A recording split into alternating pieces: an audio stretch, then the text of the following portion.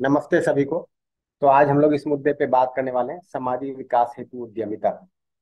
तो उद्यमिता यानी एंटरप्रेन्योरशिप जिसकी आज हम लोग काफ़ी चर्चा करते हैं। हर एक कॉलेज में एंटरप्रेन्योरशिप पे टॉक्स हो रहे हैं डिस्कशंस हो रहे हैं इंक्यूबेशन सेंटर्स बनाए जा रहे हैं स्टार्टअप से जोड़ दिया जा रहा है। तो एक बात ध्यान में आती है कि क्या उद्यमिता का एंटरप्रेन्योरशिप का प्रयोग, क्या सामाजिक विकास के लिए भी हो सकता है? आज के दिन सोशल इंटरप्रेन्योरशिप पर भी काफ़ी चर्चा होती है। उसी को ध्यान में रखते हुए आज का हम लोगों ने ये टॉपिक चुना और इस पर हम लोग अभी चर्चा करने वाले हैं। तो सामाजिक विकास का अर्थ क्या है? सामाजिक विकास का अर्थ है मानव लक्ष्य पूर्ति होना। तो समाज में साथ साथ रहते हुए हम एक कॉमन लक्ष्य रख सकते हैं कॉमन गोल रख सकते हैं। और उसको अगर देखते हैं तो दिखता है कि हम सबका एक प्रकार का लक्ष्य ये हो सकता है कि हर व्यक्ति में समाधान हो, हर व्यक्ति में सही समझ, सही भाव हो जैसे हर व्यक्ति सुखपूर्वक जी पाए। हर परिवार में समृद्धि हो, हर परिवार को अपनी आवश्यकता की ठीक ठीक पहचान हो, उससे अधिक उत्पादन पूर्वक पूरा कर पाए, जिससे हर परिवार में समृद्धि हो। समाज में लोगों के बीच में परस्पर विश्वास का भाव हो, एक अभयता हो और प्रकृति में सहअस्तित्व हो। तो इसको अगर हम लक्ष्य को पूरा करने जाते हैं तो पाँच आयाम दिखाई देते हैं। शिक्षा, संस्कार, स्वास्थ्य संयम, उत्पादन, कार्य, न्याय, सुरक्षा, विनिमय, कोष, ये पाँच आयाम दिखाई देते हैं। और ये भी दिखाई देता है कि इन लक्ष्यों को पूरा करने के लिए अगर शिक्षा, संस्कार पे काम किया जाए तो हर व्यक्ति में सही समझ, सही भाव सुनिश्चित होता है। स्वास्थ्य संयम और उत्पादन कार्य पे काम करते हुए हर परिवार में समृद्धि और प्रकृति के साथ सहस्तित्व सुनिश्चित होता है। न्याय व्यवस्था पे कार्य करते हुए समाज में अभयता सुनिश्चित होती है। सुरक्षा पे कार्य करते हुए प्रकृति के साथ अस्तित्व सुनिश्चित होता है। विनिमय कोष को अगर हम ठीक विधि से करते हैं तो हर परिवार में समृद्धि सुनिश्चित होती है और समाज में अभय का भी वातावरण बनता है। ये हमें, है ना, एक योजना कार्यक्रम के रूप में दिखाई देता है। इसमें भी दिखता है कि अगर हम समाधान से शुरू करते हैं तो परिवार में समृद्धि सुनिश्चित हो सकता है। समाधान से शुरू करते हुए, परिवार में समृद्धि सुनिश्चित करते हुए समाज में अभय हो सकता है। और इन तीनों में अगर हम ठीक से काम करें, यानी मानव के साथ अगर ठीक से काम हो तो शेष प्रकृति जो पहले से ही व्यवस्था में है, उसमें सहस्तित्व तो बना रहता है, व्यवस्था बनी रहती है। अब अगर हम आज के दिन एजुकेशन सिस्टम को देखें, उद्योग को देखें, यानी इंडस्ट्री को देखें, एनजीओ जो काम कर रहे हैं, उनको देखें तो ऐसा क्या विधि हो सकता है? ऐसी क्या प्रक्रिया हो सकती है जिससे कि हम मान लक्ष्य को पूरा कर पाए इन पाँच आयामों पे काम करते हुए? है ना? तो उस पर हम लोग अभी थोड़ा विमर्श करते हैं, आपस में बातचीत करते हैं। तो जो ट्रांसफॉर्मेशन है, वो ये है कि अगर हम मानवीय शिक्षा सुनिश्चित करते हैं तो उससे अगली पीढ़ी में सही समझ, सही भाव सुनिश्चित होता है। और उससे समाज में परिमार्जन होता है। जैसे अभी अगर स्थिति को देखें तो व्यक्ति में सही समझ का भाव है, संबंध का भाव है है ना? सुविधा की आवश्यकता की पहचान नहीं है। तो व्यक्ति में समझ का भाव है, संबंध का भाव है, और व्यक्ति सुविधा संग्रह के लिए लगा हुआ है। सुविधा को ही संपूर्ण मानकर जीने में लगा हुआ है, जिसको जीव चेतना कहेंगे। और उसके कारण समाज में देखें तो समस्याएँ दिखाई दे रही मानव में इस तरह की गलत मान्यताएँ बन गई हैं, जैसे पैसा ही सब कुछ है, कोई व्यक्ति विश्वास के योग्य नहीं है, परिवारों में संग्रह के लिए काम चल रहा है, सुविधा की आवश्यकता स्पष्ट नहीं है, उसके कारण बहुत सारी सामाजिक समस्याएँ, कुरीतियाँ शुरू हो रही हैं, भ्रष्टाचार और, है ना, एक दूसरे का शोषण करना, सुविधा के लिए छल कपट करना, पैसा अधिक कमाने के लिए। यही जब फैल कर समाज में जाता है तो डोमिनेशन एक्सप्लॉटेशन कारण भय, आतंक ये दिखाई देता है और प्रकृति में दोहन शोषण दिखाई देता है। इसके फल परिणाम के रूप में देखें तो व्यक्ति में उन्माद दिखाई देता है। कि हर व्यक्ति में भोग उन्माद, काम उन्माद, लाभ उन्माद, इस तरह के उन्माद उन्माद मतलब पागलपन, आवेश का एक चरम ऐसा बढ़ता जा रहा है। अब याद देखें तो समाज में सुविधाएँ तो हम बहुत उत्पादन कर रहे हैं, परंतु साथ साथ उत्पाद उत्पादन के साथ साथ ये उन्माद भी बढ़ता जा रहा है। वैसे ही समाज में आतंक, समाज में युद्ध ज़्यादा भयानक होते जा रहे हैं। अब हर देश के पास न्यूक्लियर बम होने वाली स्थिति बनती जा रही है। अगर ऐसा होगा तो धरती को कितनी बार नष्ट कर पाएँगे, है ना? एक बार नष्ट करना पर्याप्त है। वैसे ही प्रकृति का दोहन करते हुए हमने संसाधनों का अभाव कर लिया है प्रदूषण फैला दिया है। परंतु यदि हम मानवीय शिक्षा के साथ काम करें, मानवीय लक्ष्य को समझ के काम करें तो जहाँ से भी शुरुआत करेंगे, व्यक्ति से व्यक्ति, है ना, परिवार से परिवार बढ़ते चले जाएँगे। और एक व्यक्ति में भी अगर मानव चेतना सुनिश्चित होता है तो कई व्यक्तियों में मानव चेतना सुनिश्चित करने के योग्य हो जाता है, जिससे उसके आसपास के समाज में मानव लक्ष्य पूरा होने लगता है। फिर मानव लक्ष्य अगली पीढ़ी के लिए मानव चेतना में जीने के लिए अनुकूलता प्रदान करता है। तो मानवीय शिक्षा से व्यक्ति में परिमार्जन होता है व्यक्ति में परिमार्जन से समाज में परिमार्जन होता है। और व्यक्ति में परिमार्जन से समाज में परिमार्जन के बीच में एक कड़ी और है, जिसको हम कहते हैं कि समूह में परिमार्जन होता है, टीम में ट्रांसफॉर्मेशन होता है। अगर इसी चीज़ को देखा जाए कि किस प्रकार से फैलती है बात, किस तरह से व्यवस्था बनती है पूरी धरती पर, एक अखंड समाज के रूप में, सार्वभौम व्यवस्था के रूप में तो परिवार से परिवार समूह परिवार समूह से ग्राम ग्राम से ग्राम समूह, है ना? और करते हुए अगर एक परिवार में दस लोग हैं और दस लोगों के समूह की बात की जाए तो सौ लोग होते हैं, सौ लोगों के फिर ऐसे समूह की बात की जाए तो एक गाँव बन जाता है। और करते करते हम टेन टू दावर टेन मतलब दस अरब लोगों के पूरे मानव के, समाज के लिए एक योजना कार्यक्रम बना सकते हैं। इसकी पूरी संभावना दिखाई देती है। परंतु हमें किस प्रकार से आगे बढ़ना है, इस पे बहुत सारा विचार बनता रहता है। उसका डायनामिक्स क्या होगा, उसका मैकेनिज्म क्या होगा, कैसे परिवार आपस में जुड़ेंगे, है ना, इस पे विमर्श होता रहता है। तो आज हम लोग जो चर्चा का बिंदु रखे हैं उद्यमिता तो क्या उद्यमिता का इसमें कोई सहयोग हो सकता है मानव लक्ष्य को पूरा करने में? कैसे व्यक्ति में उससे परिमार्जन हो सकता है? कैसे टीम में डेवलपमेंट हो सकता है? कैसे सोसाइटी में परिमार्जन हो सकता है? तो उद्यमिता एक शब्द है जो वेस्टर्न लिटरेचर से लिया गया है। पश्चिम में यह शब्द आया अंग्रेज़ी भाषा में मतलब एंटरप्रनरशिप की अगर बात करें। तो एक संदर्भ मिलता है। एक जीन बैप्टिस्ट हुए हैं। पूरा नाम जीन बैप्टिस्ट से है। एक फ्रांसीसी अर्थशास्त्री रहे हैं। इन्होंने कहा है कि एक उद्यमी को एक ऐसे व्यक्ति के रूप में परिभाषित किया जो एक विचार पर काम करता है और लोगों की दृष्टि इस तरह से बदलता है कि उस प्रभाव को बदल देता है, जो एक विचार समाज पे डालता है। यानी विचार, किसी विचार का समाज पे जो प्रभाव पड़ता है, प्रभाव पड़ने की जो विधि है, उसको बदल देता है। यानी लोगों की दृष्टि में परिवर्तन ले आता है। तो ऐसा व्यक्ति अगर होलिस्टिक सेंस में देखें तो लोगों ने भी इसको ऐसे देखने समझने का प्रयास किया है कि मियरली कोई उद्योग खड़ा कर देना, कोई बिज़नेस स्टार्ट कर देना, कोई उत्पादन की नई प्रक्रिया जोड़ देना, इतना ही नहीं है। परंतु लोगों की दृष्टि में परिवर्तन लाना, ऐसा देखने का प्रयास हुआ है।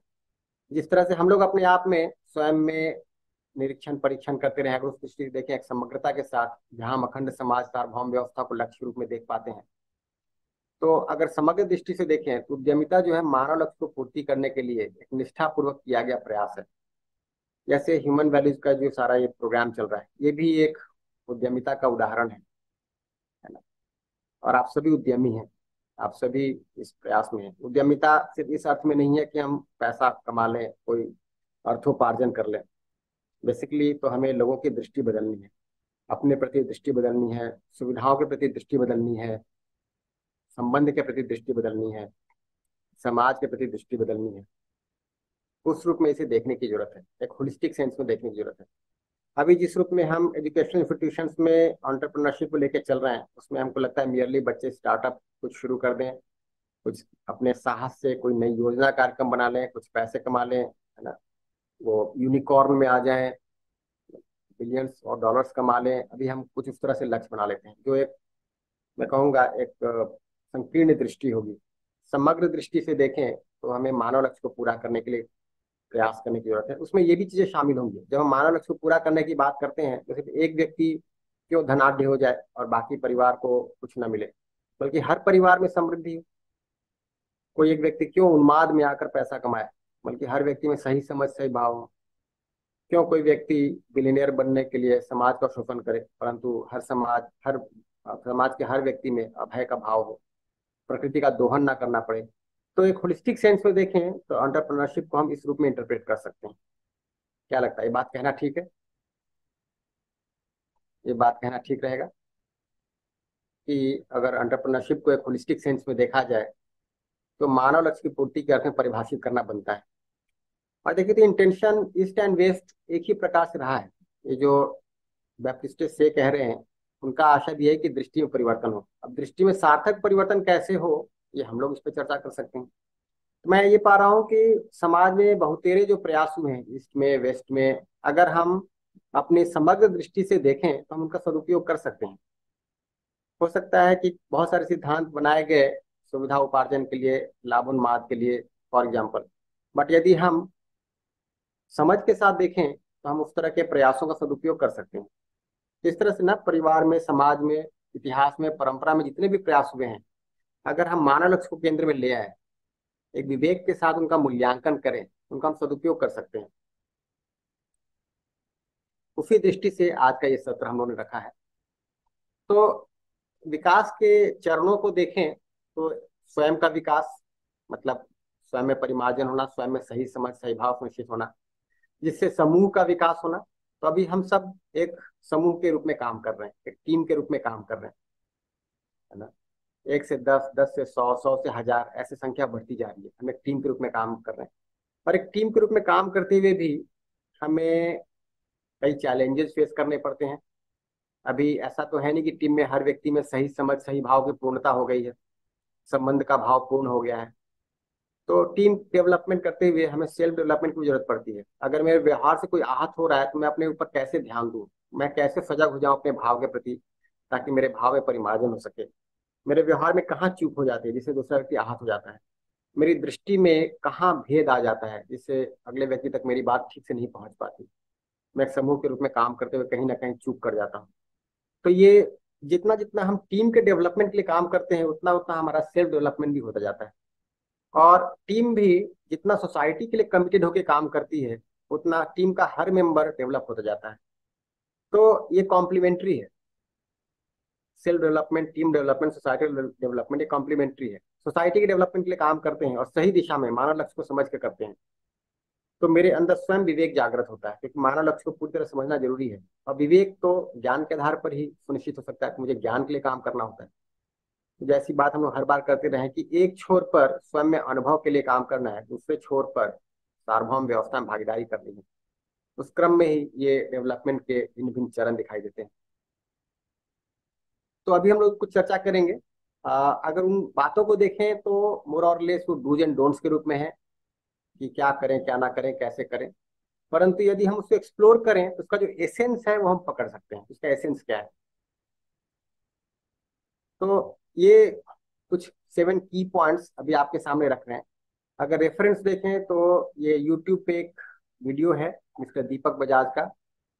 इनके यूट्यूब को इनके वीडियो को देखते हुए कुछ प्रेरणा मिली कि ये बातों को अगर यहाँ जोड़ा जाए तो हम जिस समाज के काम में लगे हैं जिस तरह से हम मूल्य शिक्षा के लिए काम कर रहे हैं उसको और बेहतर बनाया जा सकता है। तो ये एक रेफरेंस है। ये मेरी तरफ़ से ऐसा कोई क्लेम नहीं है कि दीपक बजाज जी आ, सही समझ सही भाव पूर्ण है ऐसा कुछ है। तो एक रेफरेंस ग्रुप में यहाँ पे लिया गया है और इनकी बातें उपयोगी लगी हैं, इसलिए यहाँ पे रखा जा रहा है। इसके साथ मैं एक डिस्क्लेमर भी रख देता हूँ यहाँ पर। तो जो सात महत्वपूर्ण बातें इन्होंने कही हैं, उसको अगर देखें तो एक तो बात यह है कि हम कोई भी काम अपने हाथ में लेते हैं, उसकी पूर्ण ज़िम्मेदारी लें। है ना? तो absolute ownership of task at hand कोई भी काम हम लेते हैं। जैसे हम सभी बहुत सारे रूल्स एंड रिस्पॉन्सिबिलिटीज लिए गए हैं। हमारी बहुत सारी रेगुलर एक्टिविटीज़ हैं और बहुत सारे प्रोजेक्ट्स हैं जिसपे हम काम कर रहे हैं। रेगुलर एक्टिविटीज़ के रूप में देखें तो वीकली वर्कशॉप्स हो रहे हैं वीकली मीटिंग्स हो रहे हैं मॉर्निंग सेशंस चल रहे हैं।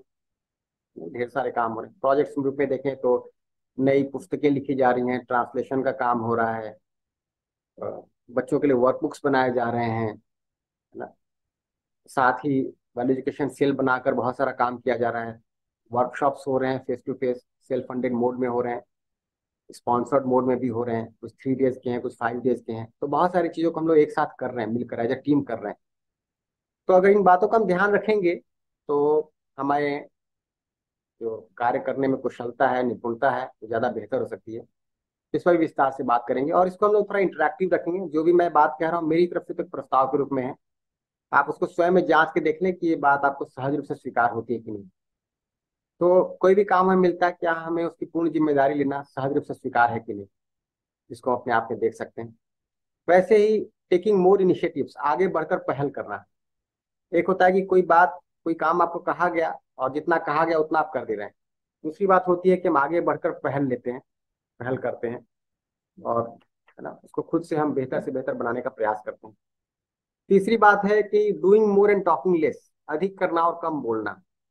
तो ये भी एक ज़रूरी बात है। कई बार क्या होता है कि हम कोई कार्य करने जाते हैं, उसमें जो भी मात्रा में हम सफल होते हैं, उससे हो सकता है हम अपने मूल्यांकन में चूक करें और अपने बारे में बहुत सारी बातें करने लगते हैं या जो प्रोग्राम लेके चल रहे हैं, उसके बारे में बहुत सारी बातें करने लगते हैं।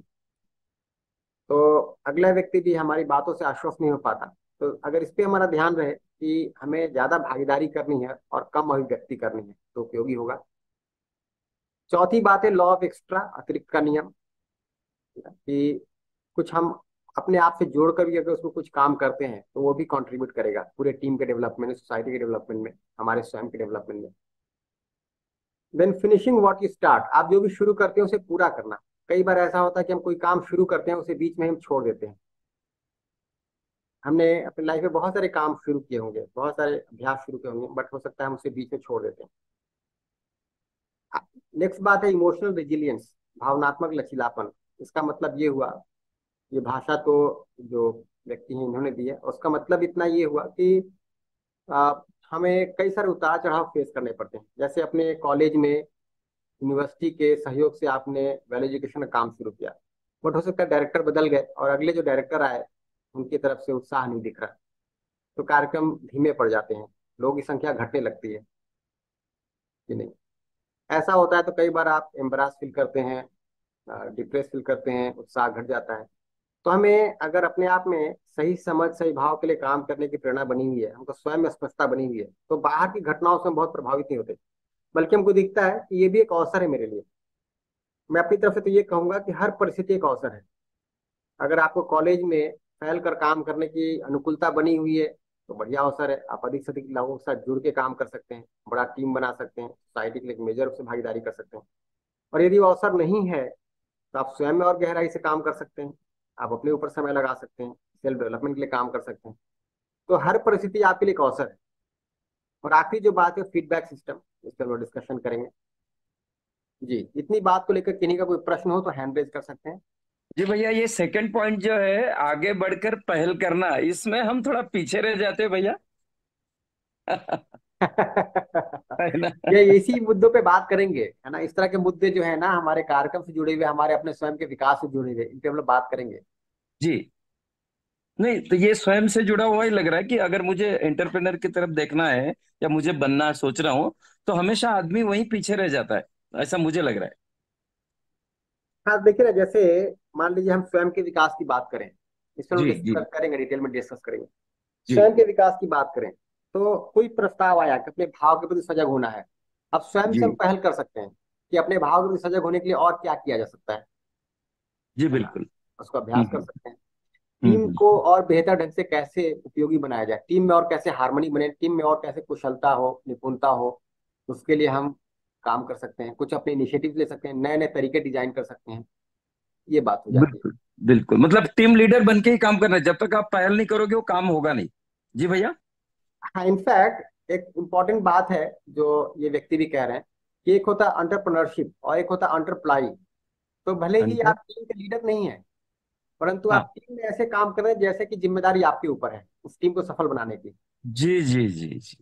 तो ऐसा नहीं कि हमको जब टीम का लीडर बनाया जाए तब हम एक्टिव होंगे नहीं। हम किसी कॉलेज में हैं हम एक फैकल्टी है हम डायरेक्टर नहीं है ना? हम correct correct correct vice chancellor नहीं है किसी यूनिवर्सिटी के। बट हमको लगता है इस यूनिवर्सिटी को मूल्य शिक्षा सुनिश्चित करना मेरी ज़िम्मेदारी है। इस कॉलेज को है ना वैल्यू बेस्ड एजुकेशन देना मेरी ज़िम्मेदारी है। जी जी। कहते हैं ऑन्टरप्लाई कि हम खुद से सोचते हैं पूरी ज़िम्मेदारी के साथ अगले के ऊपर निर्भर नहीं है।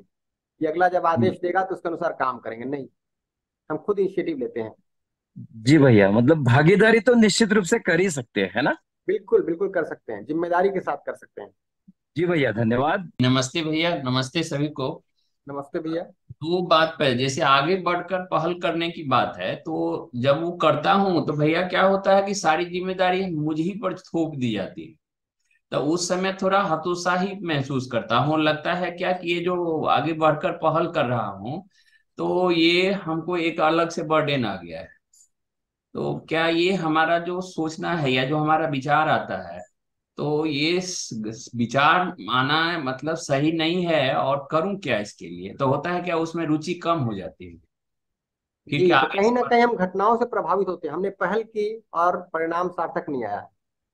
ठीक है तो हमारा उत्साह चला गया। इसका मतलब कि हम बाहर जो घटनाएँ हो रही है उससे प्रभावित होकर कार्यक्रम बना रहे हैं। अच्छा अच्छा।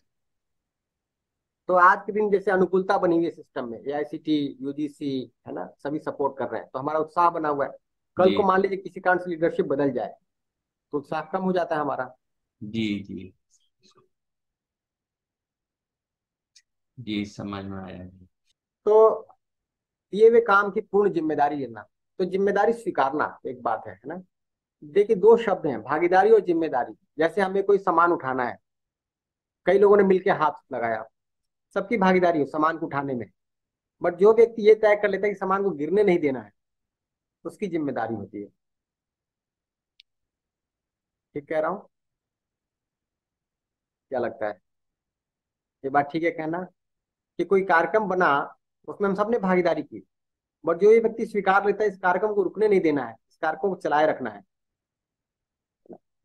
उस व्यक्ति ने ज़िम्मेदारी स्वीकार ली है। जैसे कई बार हम लोग कहते हैं कि जो हम लोग मीटिंग्स करते हैं फेस टू फेस मीटिंग हो या ऑनलाइन मीटिंग्स हो, उन मीटिंग्स को सुचारू रूप से चलने के लिए तीन चीज़ ज़रूरी है। अगर फेस टू फेस मीटिंग की बात करें पहले, कि एक स्थान नियत हो, निश्चित हो, एक समय निश्चित हो और एक व्यक्ति निश्चित हो जो वहाँ पे पहुँच जाएगा। ये जो वो व्यक्ति है, जो उस निश्चित स्थान पर निश्चित समय पहुँच जाता है, उसने ज़िम्मेदारी स्वीकारी हुई है। मीटिंग चल रही है, हम आ रहे हैं, बैठ रहे हैं, अपनी बात कह दे रहे हैं, मीटिंग नहीं चल रही है हम घर पे बैठ जाते हैं तो हमारी भागीदारी है। ये मीटिंग चलती रहे उसको मैं सुनिश्चित करता हूँ तो मेरी ज़िम्मेदारी है। तो भागीदारी से आगे बढ़कर ज़िम्मेदारी तक जाना है ना? भागीदारी तो हम कर लेते हैं अगर अनुकूलता होती है। बट अनुकूलता हो या प्रतिकूलता हो, अगर मैंने ज़िम्मेदारी स्वीकार ली तो उस कार्यक्रम को मैं बनाए रखता हूँ, उसको जारी रखता हूँ। तो भागीदारी से ज़िम्मेदारी की ओर बढ़ना है। और यदि हम जिम्मेदार होते हैं तो फिर ये तीन चीज़ें हम नहीं करेंगे। कोई रिमाइंडर्स की हमको ज़रूरत नहीं है। जैसे अभी भी देखें हम टीम में काम कर रहे होते हैं तो हमें कई बार रिमाइंडर्स देने पड़ते हैं या रिमाइंडर्स लेने पड़ते हैं। ठीक है? ये और बात हो सकती है कि हम इतने सारे कामों में व्यस्त हो जाते हैं कि हमें रिमाइंडर्स की ज़रूरत पड़ जाती है बट हम देखें कैसे ऐसा हो कि हमें रिमाइंडर्स की ज़रूरत ना पड़े। है ना? ये कैसे हमारे अभ्यास में आ जाए। कोई एक्सक्यूज हमको ना बनाना पड़े। कोई हम टीम में काम करते हुए हमसे कोई काम छूट रहा है, नहीं हो पा रहा, उसके लिए हमें कोई एक्सक्यूज ना देना पड़े। है ना? अगर हमने ज़िम्मेदारी स्वीकार ली तो एक्सक्यूज देने की भी ज़रूरत नहीं है। एंड नो कंप्लेंट्स कोई शिकायत किसी के प्रति करने की ज़रूरत नहीं है कि हमने फलाने व्यक्ति से कहा था, उसने किया नहीं, है ना? ये चीज़ हुई नहीं सिस्टम चला नहीं डेटा मिला नहीं and so on so fourth और ये हमारे एक अभ्यास में आ सकता है। ये आपके परिवार में भी एक अभ्यास में आ सकता है। आपके परिवार में जो भागीदारी हो रही है, कि परिवार में कोई काम होना है ना? आपने निश्चित कर लिया, आपने ज़िम्मेदारी स्वीकार ली तो फिर ये तीन चीज़ें आप नहीं करेंगे। है ना? ना कोई रिमाइंडर की ज़रूरत पड़ेगी, ना कोई बहाना बनाएँगे, ना कोई शिकायत करेंगे किसी के प्रति। बल्कि परिवार की व्यवस्था के लिए हम कमिटेड फील करते हैं। वैसे टीम की व्यवस्था के लिए हम कमिटेड फील करते हैं। इनकी ज़रूरत हमको नहीं पड़ेगी। है ना? समाज के विकास के लिए हम कमिटेड फील करते हैं। और उद्यमिता में ये चीज़ें शामिल है। ना? हम कोई भी इनिशिएटिव लेते हैं, ऐसा नहीं कि हमारे करने से कोई काम सफल हो जाएगा। क्योंकि सफलता तो बहुत सारी बातों पर निर्भर करेगी। उसमें मेरा प्रयास एक तरफ़ है, परंतु बहुत सारी और जो लोगों की भागीदारी है, जो भौतिक रासायनिक घटनाएँ घट रही है चारों तरफ़, है ना, उन सबके योग संयोग से मेरा काम सफल होना है या असफल होना है। तो अभी हम जब शुरू करते हैं तो भागीदारी से शुरू करते हैं। आपको कोई एक टास्क दे दिया गया और आप दिए गए टास्क को करते हैं। परंतु धीरे धीरे हमें इस दिशा में बढ़ना है कि हम उस पूरे टास्क की ज़िम्मेदारी ले लें। हम में से हर व्यक्ति एक एक कॉलेज की ज़िम्मेदारी ले सकता है एक एक परिवार की ज़िम्मेदारी ले सकता है। परिवार के परिवार समूह की ज़िम्मेदारी ले सकता है। ना कि इस पूरे परिवार समूह में व्यवस्था सुनिश्चित करना मेरी ज़िम्मेदारी है। उसके लिए अपना तन, मन, धन लगाकर हम सुनिश्चित करेंगे।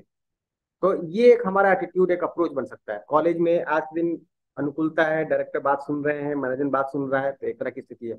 नहीं सुन रहे तो भी मुझे किस तरह से पूरे कार्यक्रम गतिमान रखना है, वो मेरी ज़िम्मेदारी है।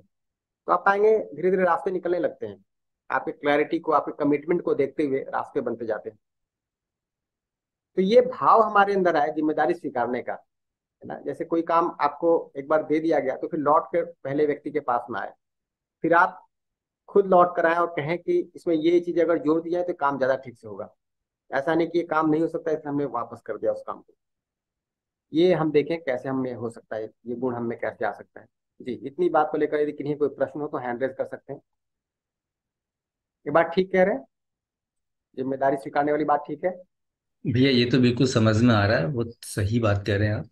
लेकिन समय समय पे मूल्यांकन भी ज़रूरी है। ऐसा ठीक है भैया? सतत मूल्यांकन समय समय पे क्यों? हर क्षण मूल्यांकन करेंगे। तो हम ज़िम्मेदारी स्वीकार भी रहे हैं ना तो अपनी योग्यता का आकलन करेंगे। तो हम अपनी योग्यता का आकलन करके ज़िम्मेदारी स्वीकारेंगे। ये बात तो ठीक ही है। और हाँ। योग्यता का आकलन करेंगे तो उसमें अपना स्वयं का मूल्यांकन होगा ही। और जो भैया जो जो हमने ज़िम्मेदारी ली है उसका जो परिणाम आ रहा है जहाँ पे हमने ली है उसका मूल्यांकन भी तो होगा भैया? बिल्कुल होगा। फल परिणाम का भी होगा। जी। बट यदि हमने ज़िम्मेदारी ली है तो फल परिणाम से हतोत्साहित नहीं होंगे या अति उत्साहित नहीं होंगे है ना? जी। हमको दिखता है कि फल परिणाम में तो बहुत सारी चीज़ों का योग संयोग है ठीक है? परंतु जो मेरी भागीदारी है जो मेरे अंदर ज़िम्मेदारी का भाव है वो तो निश्चित है। ठीक बात। ठीक है भैया। ठीक। तो ये पहली बात थी कि दिए गए काम की पूर्ण ज़िम्मेदारी स्वीकारना। दूसरी बात है कि नए इनिशिएटिव लेना अपने आगे बढ़कर खुद से इनिशिएटिव लेना तो नए कार्यों के लिए स्वेच्छा से कार्य करना। जैसे मैंने देखा कि वीडियो एडिटिंग का काम दिया गया तो लोगों ने खुद से आगे बढ़कर नए नए स्किल सीखे। ऐसे कई साथी जिन्होंने कभी वीडियो एडिटिंग नहीं की थी सॉफ्टवेयर पे काम नहीं किया था, ये विजुअल कम्युनिकेशन वाले सॉफ्टवेयर पे काम नहीं किया था, उन्होंने बहुत सारे सॉफ्टवेयर सीखे, बहुत अच्छी बात है है ना? कि स्वेच्छा से हम आगे बढ़कर इनिशिएटिव ले रहे हैं, ज़िम्मेदारी स्वीकार रहे हैं, ये काम मैं करके देखना चाहता हूँ। अपने आप से पहल करना और फिर धीरे धीरे योग्यता विकसित करना। ऐसा नहीं कि हम कोई कार्य करने से पहले पूर्ण विकसित हो जाते हैं, पूर्ण योग्य हो जाते हैं, ऐसा कभी नहीं हो पाता। है ना? कार्य को करते हुए हम अपने आप को जांचते भी रहते हैं जी कर देखते भी रहते हैं और धीरे धीरे हमारी योग्यता बढ़ती जाती है। ऐसा हमने अपने आप में भी एक्सपीरियंस किया होगा।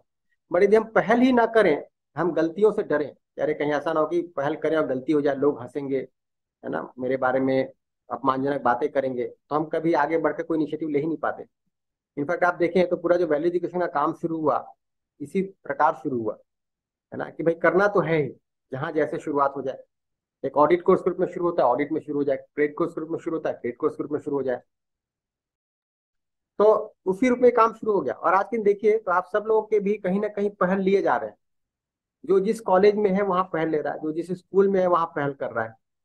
है ना? कोई गाँव मोहल्ले में पहल कर रहा है कि नहीं? और फिर उस क्रम में धीरे धीरे अपनी योग्यता विकसित करना। अगर हम ये इंतज़ार करेंगे कि पूरी तरह से जब समझदार जिम्मेदार हो जाएँगे तो भागीदारी करेंगे तो होंगे ही नहीं, क्योंकि भागीदारी करते हुए हम समझदार जिम्मेदार होते हैं। तो वो भी अपने आप में एक देख पाना कि क्या मेरे अंदर ऐसी निष्ठा तत्परता बन पा रही है, इसका मूल्यांकन क्या हम कर पा रहे हैं। तो दूसरी बात है कि स्वयं से पहल करना, है ना? और अभी देखिए, हम सबको दिखाई दे कि अल्टीमेटली अगर हम ज़िम्मेदारी की बात करें, अखंड समाज सार्वभौम व्यवस्था की ज़िम्मेदारी मेरी है। ये भाव भी अपने आप में विकसित होना एक महत्वपूर्ण बात है। अगर हर व्यक्ति महसूस करे कि मानवीय परंपरा की ज़िम्मेदारी मेरी है, ठीक है ना तो आप देखेंगे कि जितना भी आप कर पाते हैं, उसमें आपका विकास तो सुनिश्चित हो जाता है। आपका लक्ष्य, विधि, कार्यक्रम तो निश्चित हो जाता है कि नहीं? ये दूसरी बात है। तीसरी बात है कि, है ना डूइंग मोर टॉकिंग लेस ज़्यादा काम करना और कम बातें करना। तो अभी थोड़ा सा देखें तो हमारे समाज में थोड़ा सा एक अधिक बोलने का भी प्रचलन है कि जहाँ बैठ गए हम लोग, बहुत सारी बातें करने लगते हैं। कई बार शुरुआत तो सार्थक बातों से करते हैं, फिर अनावश्यक बातें करने लगते हैं, फिर निंदा करने लगते हैं। और एक आम सी एक आम सा अभ्यास है, सामान्य सा अभ्यास है कि हम बैठ के निंदा शुरू कर देते हैं। है ना? निंदा पुराण कहते हैं कि निंदा पुराण खोल दिया हमने बैठ के सिस्टम की आलोचना कर रहे हैं। मैनेजमेंट की आलोचना कर रहे हैं कलीग्स की आलोचना कर रहे हैं, बच्चों की आलोचना कर रहे हैं सोसाइटी की आलोचना कर रहे हैं, ठीक लीडर्स की आलोचना कर रहे हैं और उसमें इतना सारा समय लगा देते हैं कि नहीं। बट यदि हमको दिखाई दे कि नहीं, मुझे अपनी भागीदारी, अपनी ज़िम्मेदारी पर ध्यान देना है। तो हम उसमें अपना समय लगाएँगे और भले ही हम कम प्रॉमिस करें, है ना, और उससे ज़्यादा हम डिलीवर करने का प्रयास करेंगे। कई बार क्या होता है, हम प्रॉमिस तो बहुत सारा कर देते हैं डिलीवर नहीं कर पाते। तो ज़्यादा अच्छा है कि हम प्रॉमिस कम करें और काम ज़्यादा करके दे दें, है ना। ये अगर टीम का हर व्यक्ति सोचे कि मुझे प्रॉमिस कम करना है और डिलीवर ज़्यादा करना है तो आप पाएँगे आउटपुट हंड्रेड परसेंट से ऊपर आएगा, क्योंकि जितना हमने एस्टिमेट किया उससे ज़्यादा काम हो जाएगा, कि नहीं? और सही मूल्यांकन करना आवश्यकता अनुसार साझा करना, अपना सही मूल्यांकन करना हर क्षण, ये तो हम सबके लिए ज़रूरी है। और जब दूसरे के साथ हम कुछ शेयर भी कर रहे हैं तो आवश्यकता अनुसार शेयर करेंगे नहीं? कई बार ऐसा होता है ना कि मान लीजिए कोई असफलता हुई और हम उसको लेकर डिप्रेस फील कर गए। हम चार लोग और बैठा लिए साथ में। अरे, कुछ हो नहीं रहा। है कॉलेज तो बिल्कुल बकवास है। यहाँ डायरेक्टर तो सुनता नहीं है। ये मैनेजमेंट के लोग तो बिल्कुल बेकार के लोग हैं। इनसे कुछ उम्मीद नहीं रखी जा सकती। अब जहाँ हम हतोत्साहित हम चार लोग और हतोत्साहित करके अपने साथ में। तो ये भी एक निगेटिव फैक्टर बन जाता है। एक ना, हमारे कार्यक्रम में एक नुकसान पहुँचाने वाली बात हो जाती है। तो हम अपने आप में देखें कि हम अपने आप में फील करें क्या हम कंट्रीब्यूट कर सकते हैं। दूसरे से जब कम्युनिकेट करें तो हम जितना कर सकते हैं, भले उससे कम बताएँ बट उससे ज़्यादा काम करने का हम अभ्यास डालें उससे ज़्यादा काम करने का प्रयास करें। अगली बात है कि अपेक्षा से कुछ अधिक करना, है ना? तो जैसे जितना हमारे कार्यक्रम से एक अपेक्षा है ना? उससे हम कुछ अधिक करने का प्रयास करते हैं। तो जैसे हम जिस भी कार्यक्रम में लगे हैं, कोई प्रोजेक्ट में ही लगे हैं, कोई एक्टिविटी में ही लगे हैं, है ना तो हम देखें कि इसमें और अधिक क्या हो सकता है। जैसे मॉर्निंग सेशन में ही जो लोग सुबह के सत्र को शुरू करते हैं, उन्होंने खुद से एक इनिशिएटिव लिया कि क्यों ना जो भी प्रश्न पूछे जा रहे हैं, उनको नोट कर लिया जाए, उनके रिस्पॉन्सेज को भी नोट कर लिया जाए। तो एक मॉर्निंग सेशन का एक अच्छा इफ़ेक्टिव बन गया है। फ्रिक्वेंटली आस्क क्वेश्चंस की एक लिस्ट बन गई है है ना, उसके रिस्पॉन्सेज नोट होने लगे हैं। उसी क्रम में देखें तो जहाँ जहाँ अपने को लगता है कोई कमी है, कोई कसर है, हम उसके लिए कुछ नए तरीके निकाल सकते हैं। तो हम उसको सोच लेते हैं, उसको करना शुरू कर देते हैं। तो ये दोनों बातें, एक तो हम जो दूसरे को प्रॉमिस कर रहे हैं कि हम इतना करके डिलीवर कर देंगे तो हम भले ही कम कर रहे हैं, उससे ज़्यादा करके देते हैं। और दूसरा, हम खुद से सोचते हैं कि हम इससे और क्या ज़्यादा आउटपुट दे सकते हैं, और क्या बेहतर कर सकते हैं। अगर हम सेल्फ डेवलपमेंट की बात करें, है ना? तो अभी हम लोग अभ्यास एक, अभ्यास दो कर रहे हैं। तो हम देखें कि इन एक एक स्टेप में और क्या बेहतर ढंग से हम देख सकते हैं और कैसे हम अपने भाव में परिमार्जन कर सकते हैं, कैसे विचारों में परिमार्जन कर सकते हैं, कैसे अपने आचरण में परिमार्जन कर सकते हैं। और फिर दूसरी बात जो ज़रूरी है कि नियमित अभ्यास करें हम, है ना? जैसे वो बात कही जाती है, करत करत अभ्यास के जड़मती हो सुजान, कि नहीं? तो अभ्यास ज़रूरी है। तो जैसे अभी हम लोग अभ्यास कर भी रहे है बट स्वयं में भी ये अब एक अभ्यास करते रहना ताकि हम भाव को सजगता पूर्वक देख पाए। हम व्यवस्था को ठीक से देख पाए, संबंध को ठीक से देख पाए। ठीक। ऐसा नहीं कि जब तक सेशन चल रहा है, हमारा अभ्यास बना हुआ है सेशन ओवर हो गया, हमारा अभ्यास चला गया। सुबह में सेशन चल रहा है तो हम अभ्यास कर रहे हैं सेशन ओवर हो गया, हमारा अभ्यास रुक गया। ऐसा नहीं। तो हम नियमित अभ्यास कर पाए और स्वयं से नए नए स्किल्स सीख पाए। अभी बहुत सारी स्किल की ज़रूरत पड़ रही है, कि नहीं? और बहुत सारे नए नए टेक्निक्स भी आ रहे हैं। अभी किसी पुस्तक को ट्रांसलेट करना बहुत ही सरल हो गया है। पहले बहुत मुश्किल था। गूगल ट्रांसलेट और ऐसे बहुत सारी चीज़ आ गई हैं। कोई रिपोर्ट बनाने में देखें तो चैट जीपीटी इस तरह के बहुत सारे स्किल्स आ गए हैं। एडवांस एक्सेल के कोर्सेज आ गए हैं। तो आप ये देख पाएँगे कि वही चीज़ें जो आज तक हम कंपनी में परफॉर्म करने के लिए कॉलेज में प्रमोशन के लिए नेम एंड फेम के लिए शायद प्रयोग करते अगर हम उन्हीं स्किल्स को मानव लक्ष्य के रूप में प्रयोग करें, एक वॉलंटरी बेसिस पे हम उसको सीखें और कंट्रीब्यूट करें, है ना? तो आप देख सकते हैं कि समाज की गति कितनी बढ़ सकती है। अभी भी देखें तो पूरा कार्यक्रम जो मूल्य शिक्षा का है, एक वॉलंटरी बेसिस पे आगे बढ़ रहा है। किसी को कोई रेमोनरेशन नहीं मिल रहा।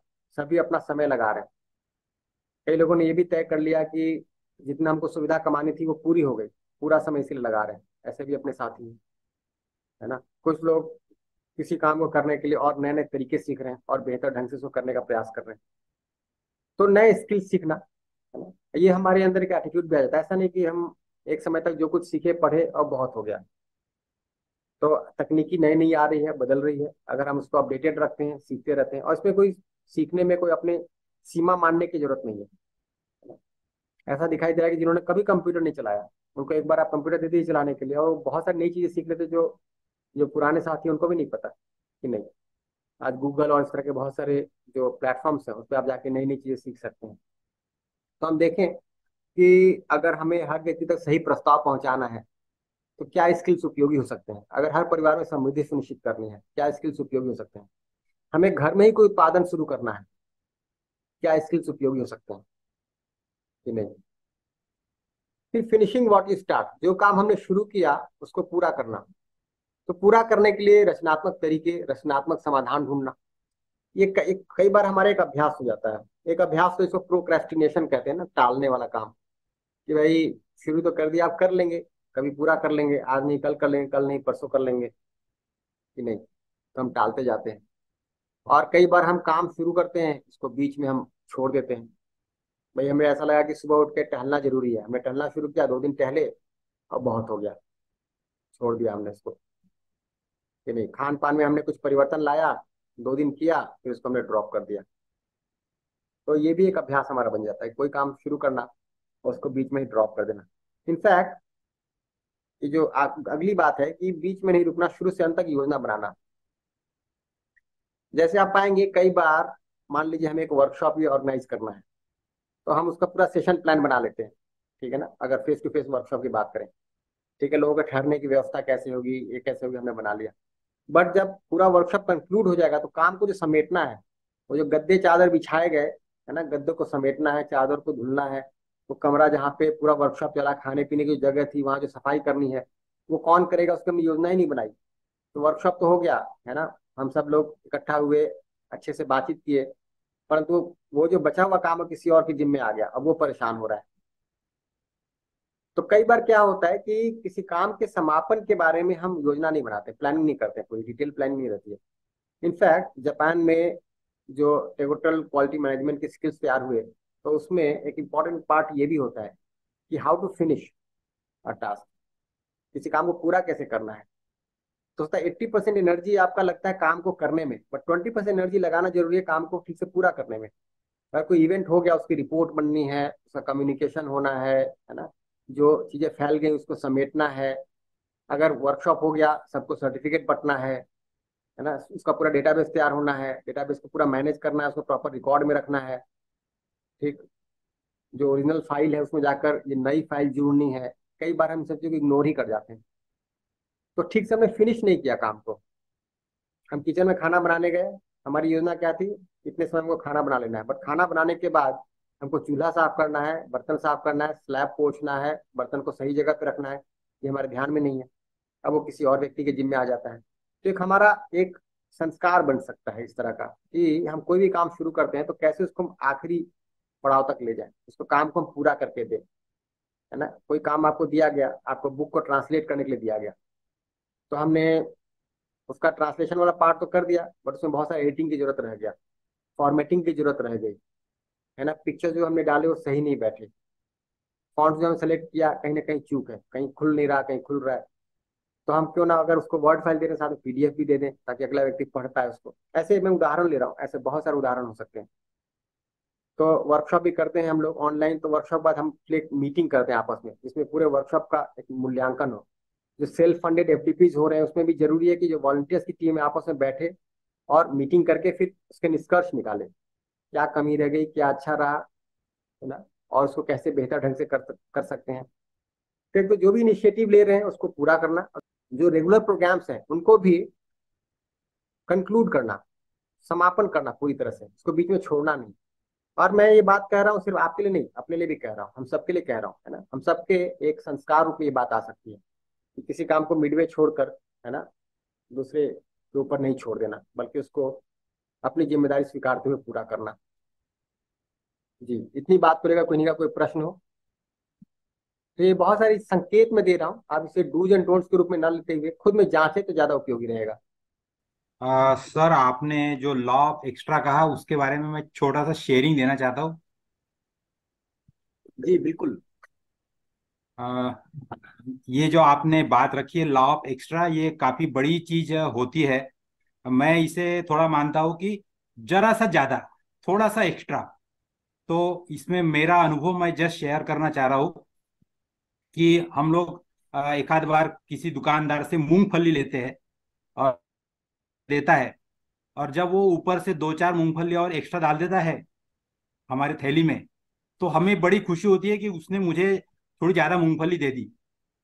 इसी प्रकार से हम लोग जब सब्ज़ी वाले से सब्ज़ी खरीदते हैं और उसे बोलते हैं कि धनिया लेते समय उसको बोलते हैं कि थोड़ा जरा सा डाल दो और वो थोड़ा सा एक दंडी हमको धनिया और ज़्यादा दे देता है तो हमको बड़ी खुशी या आनंद होता है। इसी तरह से हम लोग, हमारे काम में भी यदि हम लोग सोचते हैं कि मैं तो मेरे डिपार्टमेंट में हमेशा सोचता हूँ कि what extra I can do little bit थोड़ा सा ही, ज़्यादा कुछ नहीं, लेकिन थोड़ा सा मैं यदि कुछ ज़्यादा कर सकता हूँ तो हम लोग कई ऐसे बड़े काम कर जा सकते हैं जो निरंतर हमने थोड़ा सा एक्स्ट्रा वाला यदि नियम हमने थोड़ा सा फॉलो करना शुरू कर दिया तो इसके लिए मैं तो एक मेरी टास्क की लिस्ट बना लेता हूँ पुल ऑफ़ लिस्ट कि जहाँ से मुझे पता चले कि कौन से मैं छोटे छोटे एक्स्ट्रा काम मैं कर पाऊँ। ज़रूरी नहीं कि उसे मैं हर दिन ही कर पाऊँ, लेकिन उससे मुझे बड़ा एक आंतरिक समाधान और आनंद मिलता है कि हम लोग इतर लोगों से हटके थोड़ा सा कुछ तो भी एक्स्ट्रा हमारे महाविद्यालय के लिए कॉलेज के लिए डिपार्टमेंट के लिए या हमारे कलीग के लिए या हमारे फैमिली मेंबर के लिए कुछ तो भी मैं कर रहा हूँ। और यहीं से मैं सोचता हूँ कि मुझे एक्स्ट्रा समाधान या आनंद जो मिलता है जो मैंने दूसरे के लिए दिया या किया वो बड़ी खुशी वाला काम होता है सर। जी बिल्कुल। तो जहाँ हम दूसरे से थोड़ा अधिक लेने का प्रयास करते हैं उसके स्थान पे थोड़ा अधिक देने का प्रयास कर सकते हैं एज ए टीम है ना? जी जी सर। दूसरे के लाइफ में और कुछ कंट्रीब्यूट करने का हम सोच सकते हैं बिल्कुल। बढ़िया भैया और किन्हीं कोई प्रश्न हो? नमस्ते सर। नमस्ते। सर आपने जैसे बोला है कि किसी भी काम को मतलब पूरे उत्साह से करें और बीच में छोड़े नहीं काम को। जो भी योजना बनाई है उसके अंत तक जाएँ। जैसे हमें कोई काम दिया चार लोगों को दिया कि चार लोगों को मिलके काम करना है तो कई बार ऐसा होता है हम तो नहीं छोड़ते बीच में।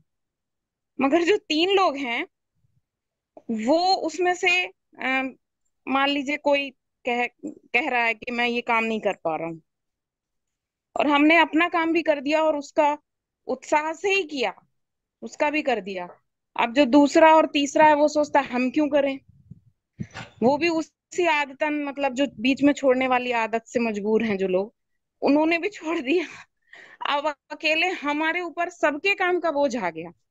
और मान लीजिए हम फिर भी लगे लगे उसको अपना और उन तीनों का भी कर दें। तो ये कहा जाता है कि ये काम तो ज़्यादा था ही नहीं ये तो एक व्यक्ति भी कर सकता था। तो अगली बार कह रहे हैं कि तुम ही पूरा करो। जी। कि हमने पूरी ऊर्जा लगाई सर कि हम अपना भी करते रहे उन तीन का भी करते रहे कि काम हमें आदत नहीं है बीच में छोड़ने की। तो हम पूरा करें लक्ष्य तक पहुँचे। ऐसा हुआ मेरे साथ हुआ था। एडमिशन के टाइम चार लोगों को दिया गया था काम। कि चार लोग मिलके करेंगे, ज़्यादा बच्चे हैं ये वो। मगर फिर धीरे धीरे धीरे वो मेरे ऊपर आ गया। फिर उन्होंने ये बोला, ये तो बहुत सरल काम था और ये तो एक व्यक्ति कर सकता था तो अगले साल से लेके आप ही पूरा करोगे।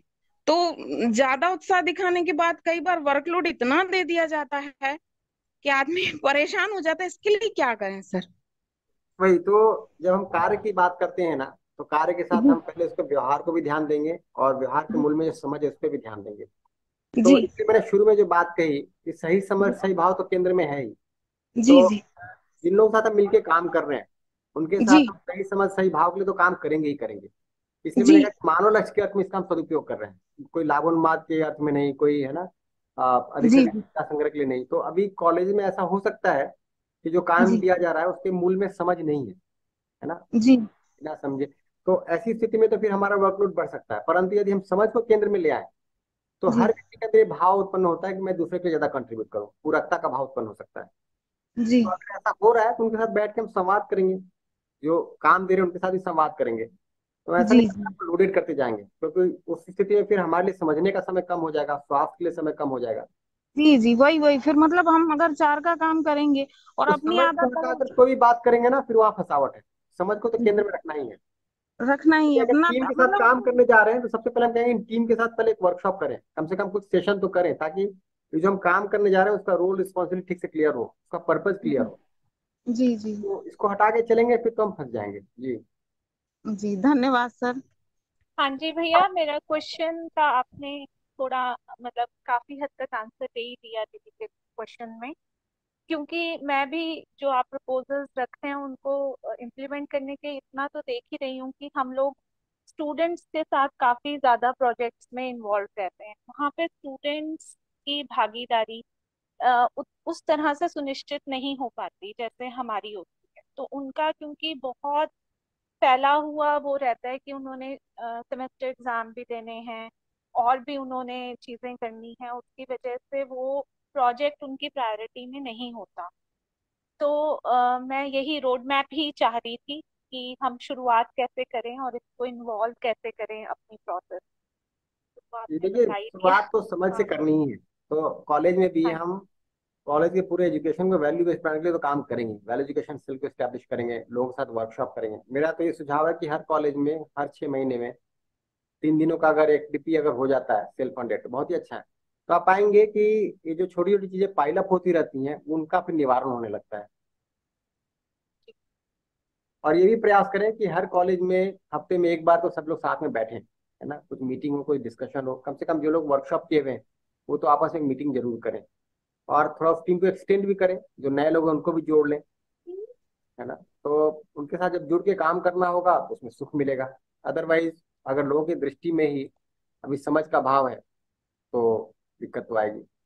एक बात और है जो नेक्स्ट बात है कि इमोशनल रेजिलियंस यानी कि थोड़ा भाव में लचीलापन होना, इसका मतलब ये हुआ कि बाहर की घटनाओं से हम प्रभावित न हो। हम किसी प्रयास में सफल हो गए, आवेशित हो गए, अति उत्साहित हो गए, है ना? हमने तो मैदान मार ली, है ना? ये सब तो छोटे मोटे मेरे बाएँ हाथ के काम है। और अगर असफल हो गए तो मैं तो किसी योग्य नहीं, किसी काम का नहीं, मुझसे कुछ नहीं हो पाएगा, है ना? मुझे तो कुछ आता जाता नहीं। ऐसा नहीं। तो अपने जो प्रयास है, और प्रयास को मैं फिर से कह दूँ कि मानव लक्ष्य अर्थ में जो प्रयास है, उसको जारी रखना। इसलिए कई बार मैं कहता हूँ कि हर परिस्थिति एक अवसर है। आज के दिन सिस्टम में अनुकूलता है तो एक तरह का अवसर है। प्रतिकूलता है तो दूसरे तरह का अवसर है। फॉर एग्ज़ाम्पल पैंडेमिक आ गया, है ना? पैंडेमिक में हम लोग घर से बाहर नहीं निकल पा रहे थे फेस टू फेस इंटरेक्शन बंद हो गए थे। वो भी एक अवसर बना ऑनलाइन प्लेटफॉर्म पे काम शुरू हो गया और बहुत अच्छा काम शुरू हो गया। लॉकडाउन के दौरान अगर आप देखें तो ऑनलाइन प्लेटफॉर्म पे हम लोग पूरे देश भर के साथियों से कनेक्ट हो पाए, जो पहले हम लोग लोकली कुछ जगहों पे कर रहे थे। तो वो परिस्थिति भी एक अवसर है। अगर हम घर से बाहर नहीं निकल पा रहे तो घर के बाहर लोगों से नहीं मिल पा रहे। तो फिर अपने आप में तो और अच्छे से काम कर सकते हैं। एक लॉकडाउन के दौरान एक स्टेटमेंट भी चलता था कि when you cannot go outside go inside तो कई प्रकार की चुनौतियाँ हो सकती हैं, है ना? सिस्टम में प्रोविज़न बन गया तो अच्छी बात है। प्रोविज़न नहीं बना, कोई बात नहीं। ना प्रोविज़न क्रिएट करेंगे, उसके लिए काम करेंगे। जितना प्रोविज़न पहले से है, उसका सदुपयोग करेंगे। इनफैक्ट अभी भी आप देखें तो एआईसीटी में काम एक दिन में तो नहीं शुरू हुआ। उसके पहले अगर आप देखें तो गाँव में चौपाल पे बैठ के वर्कशॉप हुए। जेल के कैदियों के साथ अगर अनुकूलता बन गई, ये हम सहमत हो गए तो उनके साथ काम शुरू हो गया। किसी कॉलेज में बच्चों के बीच में कुछ काम शुरू हो गया, जो कॉलेज के कुछ बच्चे हैं जो आसपास की झुग्गी झोपड़ी में बैठ के पढ़ा रहे थे बच्चों के साथ, है ना? उनके साथ काम शुरू हो गया। तो जहाँ भी अवसर मिला उसका सदुपयोग किया गया। उससे लोगों को बात पहुँचती जाती है कुछ अच्छी बात हो रही, कुछ सार्थक बात हो रही है और निष्ठा के साथ लोग लगे हैं। इनका अपने में कोई इसमें, है ना, हित की कामना नहीं है, कोई प्रिय का दृष्टि नहीं फंसा हुआ है कि कोई लाभ के लिए काम नहीं कर रहे हैं। ये समाज में भागीदारी कर रहे हैं, समाज गति के लिए काम कर रहे हैं। ये भाव तो दूसरे तक पहुँचता है। परिवार में भी एक आश्वस्ति बनती है, समाज में एक आश्वस्ति बनती है। तो बाहर की घटनाएँ तो उसमें उतार चढ़ाव लगा रहेगा। मैं आज भी कह रहा हूँ, आज के दिन अनुकूलता है, अच्छी बात है। कल को प्रतिकूलता हो सकती है। बट उस प्रतिकूलता में भी आपको एक नई तरह की अनुकूलता दिखाई देगी। अपने ऊपर काम करने की। हो सकता है जिन कारणों से प्रतिकूलता बनी, उन कारणों को और विचार करने की। है ना? कई बार हम लोग जो शॉर्ट एनालिसिस की बात करते हैं स्ट्रेंथ वीकनेस अपॉर्चुनिटी थ्रेट्स तो हम हर अवसर में जाकर उसका सदुपयोग कर सकते हैं। कि देखें कि हमारे, है ना, इस पूरे प्रयास में क्या स्ट्रेंथ है और क्या वीकनेस है, क्या नए अपॉर्चुनिटीज़ है, क्या थ्रेट्स है। तो जो स्किल्स को, हो सकता है समाज में आज के दिन सिर्फ़ उत्पादन में लगाया जा रहा है बिज़नेस में लगाया जा रहा है, ठीक? उसको हम अगर यहाँ पे सदुपयोग करें, मानव लक्ष्य के अर्थ में, पाँच आयाम में तो बहुत सारा काम हो सकता है। शिक्षा के क्षेत्र में, स्वास्थ्य के क्षेत्र में, सामाजिक न्याय के क्षेत्र में, बहुत सारा काम हो सकता है। और गलतियों को करने से डरने की ज़रूरत नहीं है है ना? हम गलतियाँ नहीं कर रहे, इसका मतलब ये भी हो सकता है कि हम प्रयास भी नहीं कर रहे हैं। अगर हम कोई प्रयास ही नहीं करें तो गलती भी नहीं करेंगे। तो गलती कर रहे हैं, इसका मतलब प्रयास तो कर रहे हैं, इतना निश्चित है। तो जो भी गलती करें, उसका मूल्यांकन करेंगे। अगर ये गलती तो सही क्या है, इसको देखेंगे, है ना? तो अपनी गलतियों को स्वीकारेंगे भी। अपनी गलतियों को उससे आँख मुनने की ज़रूरत नहीं है, स्वीकार भी सकते हैं, उसके ऊपर अपने अंदर काम कर सकते हैं। तो ये जो ये जो बात है बहुत महत्वपूर्ण है। इससे अगर आप इस चीज़ को ठीक से अपने आप में देख पाए तो फिर आप वातावरण की अनुकूलता या प्रतिकूलता से बहुत प्रभावित नहीं होते। आपकी गति निश्चित बनी रहती है। है ना? आपके पास जो चौबीस घंटे का समय उसका तो सदुपयोग कर ही सकते हैं। जहाँ भी हो। हम सब में ये क्षमता है कि हम में से किसी को भी कहीं भी प्लेस कर दिया जाए, आप एक कार्यक्रम खड़ा कर सकते हैं। हम में से हर व्यक्ति में क्षमता तो है। उस क्षमता को योग्यता में परिणत करने की ज़रूरत है। आप अपने घर में बैठे तो कार्यक्रम शुरू कर सकते हैं, मोहल्ले में बैठे तो शुरू कर सकते हैं, गाँव में बैठे तो शुरू कर सकते हैं। हमको लक्ष्य दिखाई दे, यही लक्ष्य है। इसके अन्यथा कुछ भी कर रहे हैं, उसका कोई सार्थकता नहीं है। तो कार्यक्रम धीरे धीरे खड़ा हो जाता है। सारे बड़े कार्यक्रम इतिहास में भी देखते हैं तो ऐसे ही खड़े हुए हैं। फिर एक फीडबैक सिस्टम है ना? तो जो चीज़ें वर्क कर रही हैं, उसको ज़्यादा करना और जो वर्क नहीं कर उसे कम करना। हम मूल्यांकन करते रहेंगे कि हमने जो इनिशिएटिव्स लिए, जो काम कर रहा है उस पर ज़्यादा ध्यान देंगे, जो नहीं काम कर रहा है, ठीक है, उस पर कम ध्यान देंगे, है ना, उसको परिणत करेंगे। हमने जो मेजर सोचे, अगर वो ठीक काम कर रहे हैं, उससे फल परिणाम आ रहे हैं तो उस पर ज़्यादा ध्यान देंगे, नहीं आ रहे हैं तो उसको पुनर्मूल्यांकन करेंगे, उसके बेहतर हम सिस्टम्स निकालेंगे, बेहतर इनिशिएटिव निकालेंगे। और एक फीडबैक भी लेते रहना अपने आप में, साथियों से, अपना मूल्यांकन करना, है ना। हम टीम के रूप में काम कर तो बैठ के हम साथ में ज़रूर अपने मूल्यांकन को शेयर करें और लोगों से अपना मूल्यांकन सुने। अपने मूल्यांकन को सुनने से घबराने की ज़रूरत नहीं है। ऐसा नहीं कि दूसरा हमारी कमियाँ उजागर कर रहा है, बल्कि दूसरे के कहने से हमें अपने ऊपर दिखाई देता कि और क्या काम करना है। तो एक फीडबैक बहुत ज़रूरी है है ना? अगर हम फीडबैक नहीं देते तो फिर हमें हमारे योग्यता को और कहाँ विकसित करना है, इसका पता नहीं चलता है। जैसे अगर आप इलेक्ट्रॉनिक्स में पढ़ाते हैं मैकेनिकल में पढ़ाते हैं कंट्रोल सिस्टम पढ़ाते हैं ना? तो फीडबैक कंट्रोल सिस्टम कहते हैं। कि जो इनपुट जा रहा है, जो आउटपुट जा रहा है, अगर आउटपुट का फीडबैक इनपुट को नहीं मिले तो इनपुट में सुधार कैसे होगा? तो हमें फीडबैक लेते रहने की ज़रूरत है। ये सात बिंदु मैंने आपसे रखे, और इनको अगर हम ठीक से इंटरनलाइज करें, जांचे, परखें तो हम पाएँगे कि हमारे भाव विचार में परिमार्जन शुरू हो जाता है। हमारे स्वास्थ्य में बढ़ोतरी दिखाई देने लगती है। परिवार में, आपस में हारमोनी हो सकती है। अगर हमारे ज़िम्मेदारी का भाव हो, हमारे अंदर इनिशिएटिव लेने की प्रक्रिया हो तो थोड़ा सा सतर्कता हेतु मैं कुछ बातें कह दूँ यहाँ पर, है ना, ताकि इसका हम सदुपयोग कर पाए। तो ये जो उल्लिखित गुण है, ये भ्रामक हो सकते हैं यदि सही समझ और सही भाव का सदुपयोग न किया जाए। जैसे कि हो सकता है कि हम यही सारे टैक्स सुविधा संग्रह के लगा रहे हैं, भोग के लिए लगा रहे हैं, उन्माद के लिए लगा रहे हैं। इसका दुरुपयोग हो सकता है फिर इस केस में। तो अभी जो मैं बात कह रहा हूँ प्रस्ताव के रूप में, ये तो मैं केंद्र में सही समझ और सही भाव को रख के कह रहा हूँ। परंतु ये स्किल्स हो सकते हैं जो इसका दुरुपयोग भी हो जाए। तो ये कुछ सुझाव हैं इसका सदुपयोग भी कर सकते हैं, दुरुपयोग भी कर सकते हैं। परंतु यदि हमको दिखता है कि मेरा लक्ष्य स्वयं में तो अनुभव तक पहुँचना है, समाज में अखंड समाज तक पहुँचना है, व्यवस्था में सार्वभौम व्यवस्था तक पहुँचना है हम इसका सदुपयोग कर सकते हैं। और ये बात हमको ध्यान में बना रहे हैं कि हमारी मूल चाहना तो सुख समृद्धि की निरंतरता है, कोई एक्साइटमेंट या एकोमुलेशन नहीं। तो हैप्पीनेस और एक्साइटमेंट दो अलग चीज़ें हैं प्रॉस्पेरिटी और एकोमुलेशन दो अलग चीज़ें हैं, ये हमको अगर दिखाई दे है ना? और बेसिक एस्पिरेशन तो हमारा सुख समृद्धि का निरंतरता है। तभी हम इसका ठीक ठीक सदुपयोग कर सकते हैं। हम बेहतर और तरीके निकाल सकते हैं। जो सात बिंदु मैंने कहे आपसे, है ना? और उससे बेहतर बिंदु भी हम ढूंढ के निकाल सकते हैं अपने आप में, अपने एक्सप्लोरेशन से। दूसरे शब्दों में कहें तो लिखित गुण जो है, वो बाहर से कोई खुशी प्राप्त करने के लिए नहीं है, बल्कि अंदर सुख सुनिश्चित करने के लिए और फिर बाहर उसको फैलाने के लिए, बाहर बांटने के लिए।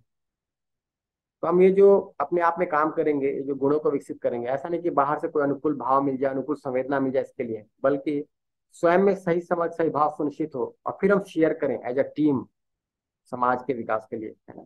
इस रूप में बात कही जा रही है। ये कुछ वर्ड ऑफ़ कॉशन है, ताकि इनका हम ठीक से सदुपयोग कर पाए, क्योंकि तो ये तो कई बातें डूज एंड डोंट्स के रूप में है और उसका दुरुपयोग भी हो सकता है। अगर हम लक्ष्य को ध्यान में रखेंगे, इसलिए मैंने सबसे शुरू में मानव लक्ष्य की बात की कि अगर हम लक्ष्य को ध्यान में रखेंगे तो इनका सदुपयोग हो सकता है। तो अगर हम इनको ठीक से लेके चले एज ए टीम हम लोग काम कर रहे हैं, है ना? आज दिन देखें तो करीब पाँच सौ लोगों की टीम काम कर रही है।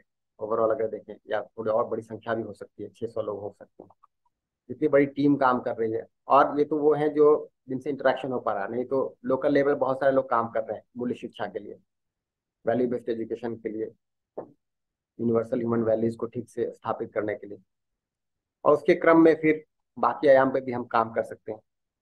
तो आउटकम ये है कि परिवार से लेकर विश्व परिवार तक व्यवस्था हो सकती है।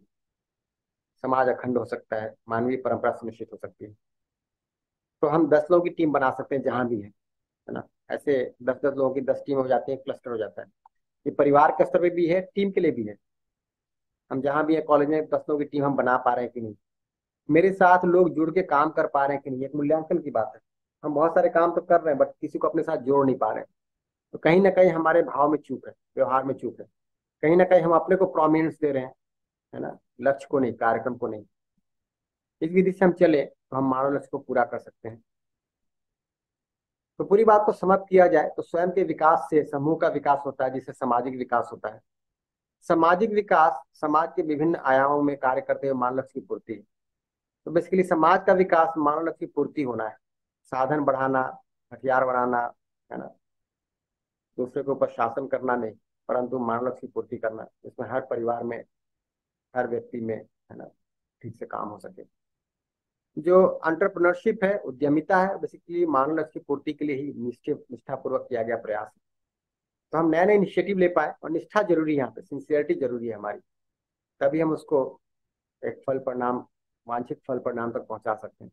और उसके लिए मैंने आपसे सात की पॉइंट्स कहे कि हाथ में लिए गए कार्य की पूर्ण ज़िम्मेदारी लेना, आगे बढ़कर पहल करना, अधिक करना और कम बोलना, अतिरिक्त करने का प्रयास करना, आप जो शुरू कर रहे हैं उसे पूरा करना, भावनात्मक लचीलापन मतलब उतार चढ़ाव से बहुत उतार चढ़ाव से प्रभावित नहीं होना बाहर के फल परिणाम से। और एक फीडबैक लेते रहना। ये सात बातें मैंने आपसे कही एक सुझाव के रूप में। बट ये हम सब के लिए आत्मविश्लेषण के लिए स्वयं में अन्वेषण के लिए एक प्रस्ताव के रूप में ही है। रेफरेंस के रूप में देखें तो ह्यूमन वैल्यूज़ का जो अपना बुक है उसका मैंने कंटेंट लिया है। साथ में मिस्टर दीपक बजाज का जो यूट्यूब चैनल है उससे मैंने कंटेंट लिया है। जी अब मैं आपके प्रश्नों को ले सकता हूँ। जी नमस्ते भैया। नमस्ते। आ, मैं पूछना चाह रहा था अभी आप चर्चा कर रहे थे कि हम अपनी चर्चा को कहीं भी जैसे गली मोहल्ले में हम या दोस्तों के साथ में बात कर करते हुए हम शुरुआत कर सकते हैं हम।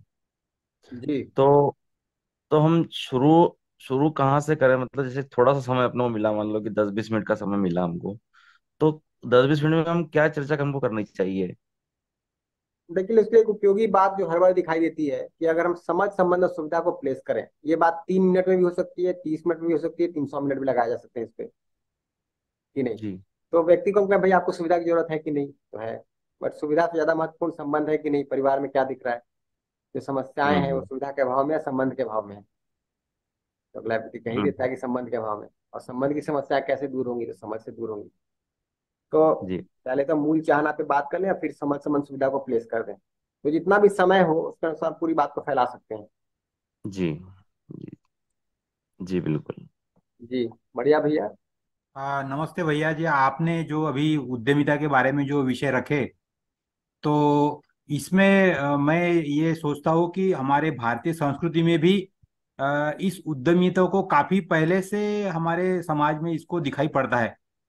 कई सारे लोगों ने ऐसे कई सारे इनिशिएटिव ले लिए कि जहाँ पे उन्होंने समाज के लिए कुछ योगदान देने के लिए अपना एक रास्ता तय कर लिया और उसके ज़रिए उन्होंने कई सारे परिवर्तन भी ऐसे उन्होंने हमारे समाज में उदाहरण के तौर पे हमारे सामने रखे हैं। तो मुझे लगता है कि उद्यमिता ये तो हमारे भारतीय संस्कृति के अभिन्न अभिन्न अंग हो सकता है कि लेकिन उसको अभी इस मॉडर्न जमाने में जो एमबीए वाले जो कोर्सेस है और कई ऐसी फॉरेन यूनिवर्सिटीज है उन्होंने इसे एंटरप्रेन्योरशिप को थोड़ा सा अलग एंगल से अभी हमारे सामने प्र, आ, लोगों के सामने प्रस्तुत किया है ऐसा मुझे लगता है। जी जी। तो ऐसा नहीं कि उद्यमिता हमारे यहाँ नहीं था। इनफैक्ट हर समाज में उद्यमिता का भाव रहता ही है। तो यस हमारे यहाँ भी रहा है पश्चिम में भी रहा है। और हमारे यहाँ तो बहुत गहरे में लोगों ने देखने का प्रयास किया चीज़ों को। तो तो है ही। जी। जी भैया फिर से नमस्ते। आ, मेरी जिज्ञासा ये है कि हम लोग जो काम कर रहे हैं संस्थान में बच्चों को पढ़ाने का या उसको ज्ञान जानकारी और ज्ञान बढ़ाने का तो क्या ये उद्यमिता का भी एक तरीका है क्या? क्यों नहीं? तो हम आगे बढ़ के पहल कर रहे हैं। बच्चों के अंदर सही समझ सही भाव सुनिश्चित करने के लिए पहल कर रहे हैं और उसको हमको निष्ठापूर्वक करना है। हमारा रोल सिंपली क्लास में साठ मिनट लेक्चर देना नहीं है पचास मिनट लेक्चर देना नहीं है। जी हमें देखना है कि बच्चों के अंदर परिमार्जन हो रहा है कि नहीं। अगर पचास मिनट में काम पूरा नहीं हुआ, उनको अलग से बुला के बात करेंगे, उनके साथ बैठ के चर्चा करेंगे, उनको सुनेंगे। अगर हम में से हर व्यक्ति ये निर्णय ले कि एक बैच में मुझे कंसिस्टेंटली फॉलो अप करके, जैसे मेंटोरशिप का जो पूरा आइडिया है, इसी बात के लिए है कि हर एक फैकल्टी बीस बच्चों के अंदर परिमार्जन सुनिश्चित करे। है ना? तो बिल्कुल, वो भी उद्यमिता का उदाहरण हम सिर्फ़ कोर्स पढ़ाने तक या एस तक अपने आप को लिमिटेड नहीं रखेंगे। बच्चों की मेंटरिंग करेंगे ताकि बच्चा आगे भी हमसे कनेक्टेड रहे, और इन बीस बच्चों के लाइफ को तो हम शेपअप कर पाए। सही अर्थ में जी भैया तो ये जो मेंटरिंग का है ना तो इसके लिए मैं अपने पहल से खुद पहल करके प्रिंसिपल को इसका प्रपोजल दिया तो वो बोले कि ठीक है आप मेंटर्स बना दीजिए सबको। तो मैं पंद्रह पर किया। तो आप पंद्रह पर करने के बाद वो क्या कर रहे हैं कि आप ही सब कुछ उसका देखिए। वो कुछ भी देखने के लिए तैयार नहीं है। वही तो देखिए मेंटरिंग के लिए हमने ज़िम्मेदारी तो दे दी परंतु उनमें जो विकास होना है उसके लिए काम तो करना ज़रूरी है ना। उन्होंने वर्कशॉप किया कि नहीं? है ना रेगुलरली डिस्कशन कर पा रहे हैं कि नहीं अपने आप में जाँच परख कर पा रहे हैं कि नहीं तो हमें देखना ही पड़ेगा। जी जी जी जी। भैया स्पष्ट हुआ। नमस्ते। जी बढ़िया भैया। तो मुझे का समय भी हो चला है। एक बार बता दें दीदी। जी भैया समय तो हो चुका है। जी। आपका बहुत बहुत धन्यवाद भैया। तो सबसे पहले तो उद्यमी मानव कौन है, उसकी परिभाषा, है ना, मैं, मुझे लग रहा था ये उन लोगों के लिए होगा जो एंटरप्रेन्योर हैं और उनके लिए होगा पर मैं खुद भी, है ना एंटरप्रेन्योर हूँ। वो हर व्यक्ति जो अपनी मानसिकता को परिमार्जन करके, मानवीय लक्ष्य की पूर्ति के लिए बाकी सभी की भी मानसिकता का परिमार्जन हो हो पाए, उस प्रयास में है, वो हर व्यक्ति ही उद्यमी है और आपने कई सारे की पॉइंट्स बताए कि एक उद्यमी व्यक्ति की मानसिकता कैसी हो तो हमारा ध्यान गया और काफ़ी सारा काम खुद पर करना है ऐसा दिखाई दिया भैया। तो आपका बहुत बहुत धन्यवाद सेशन के लिए। अभी हम इनवाइट करेंगे कुमार संभव भैया को। तो आज का जो टॉपिक है, सामाजिक विकास हेतु उद्यमिता। भैया उस पर अपनी बात रखेंगे। नमस्ते कुमार भैया।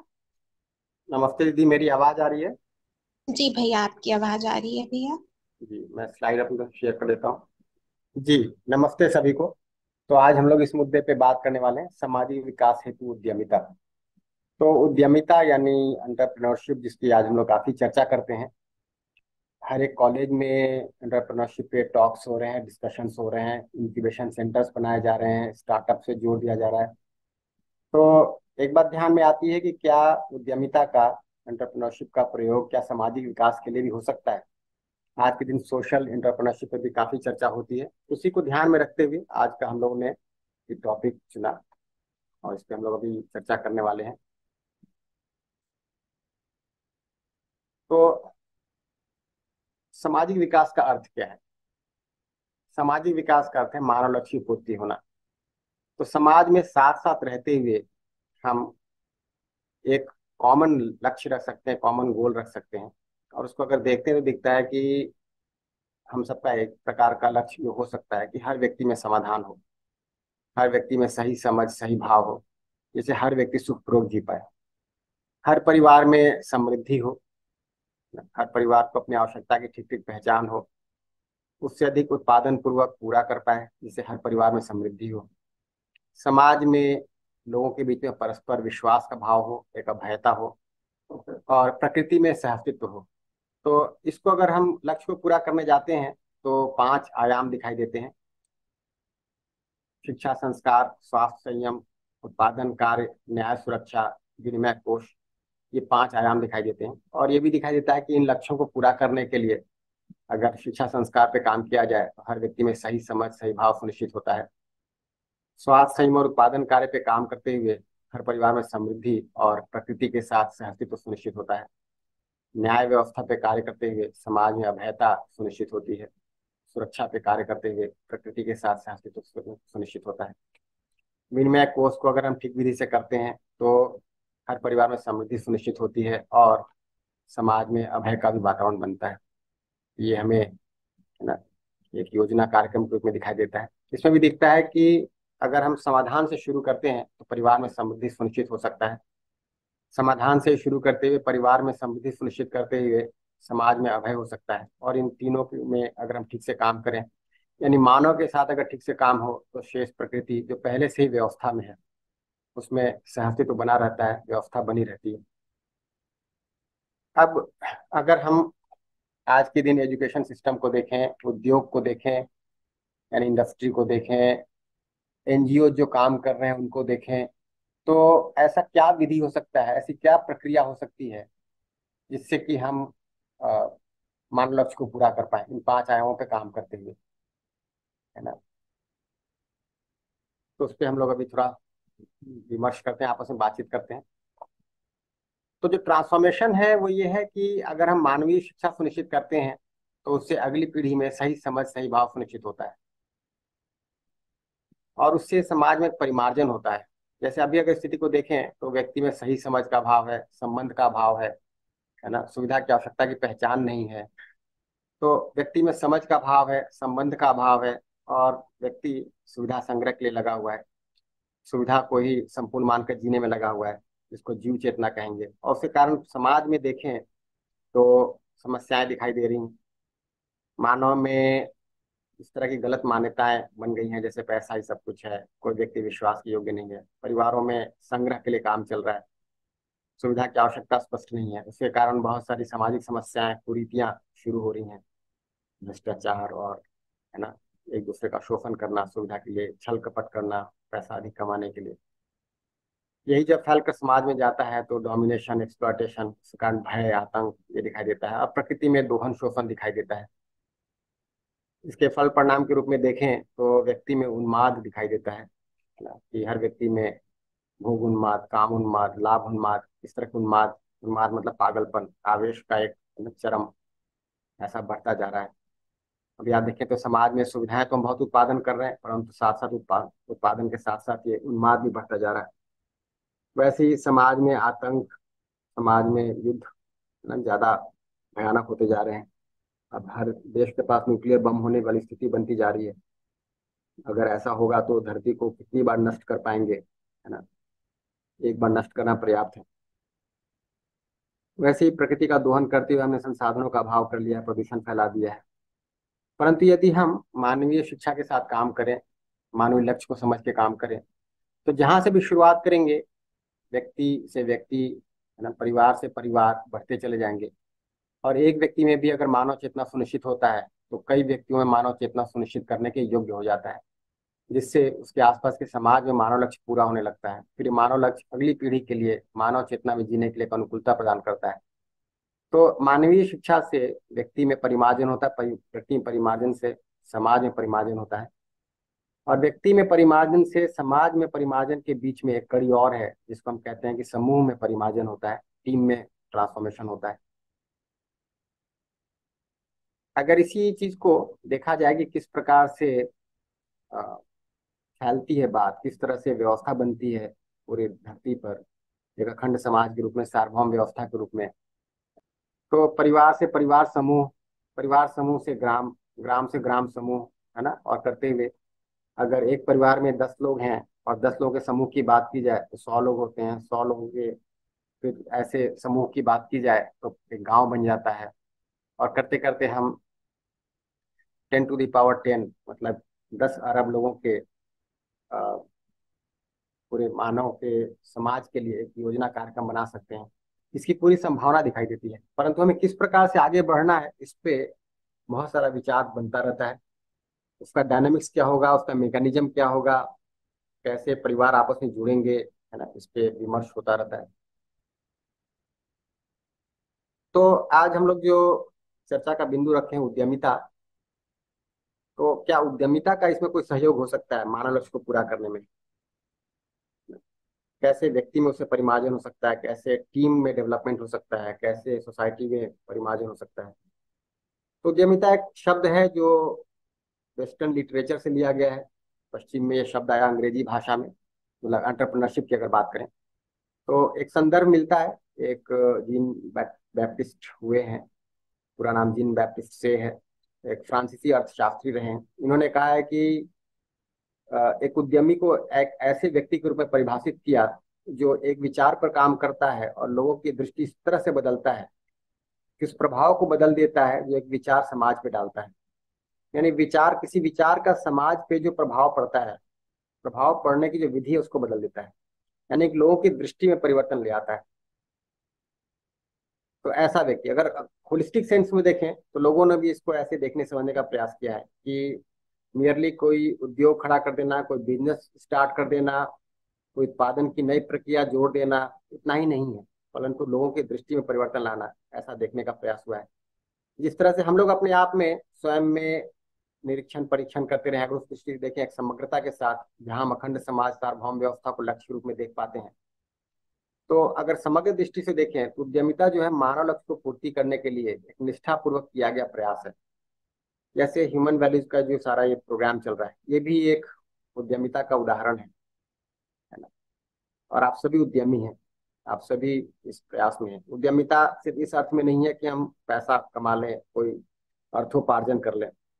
बेसिकली तो हमें लोगों की दृष्टि बदलनी है, अपने प्रति दृष्टि बदलनी है, सुविधाओं के प्रति दृष्टि बदलनी है, संबंध के प्रति दृष्टि बदलनी है, समाज के प्रति दृष्टि बदलनी है।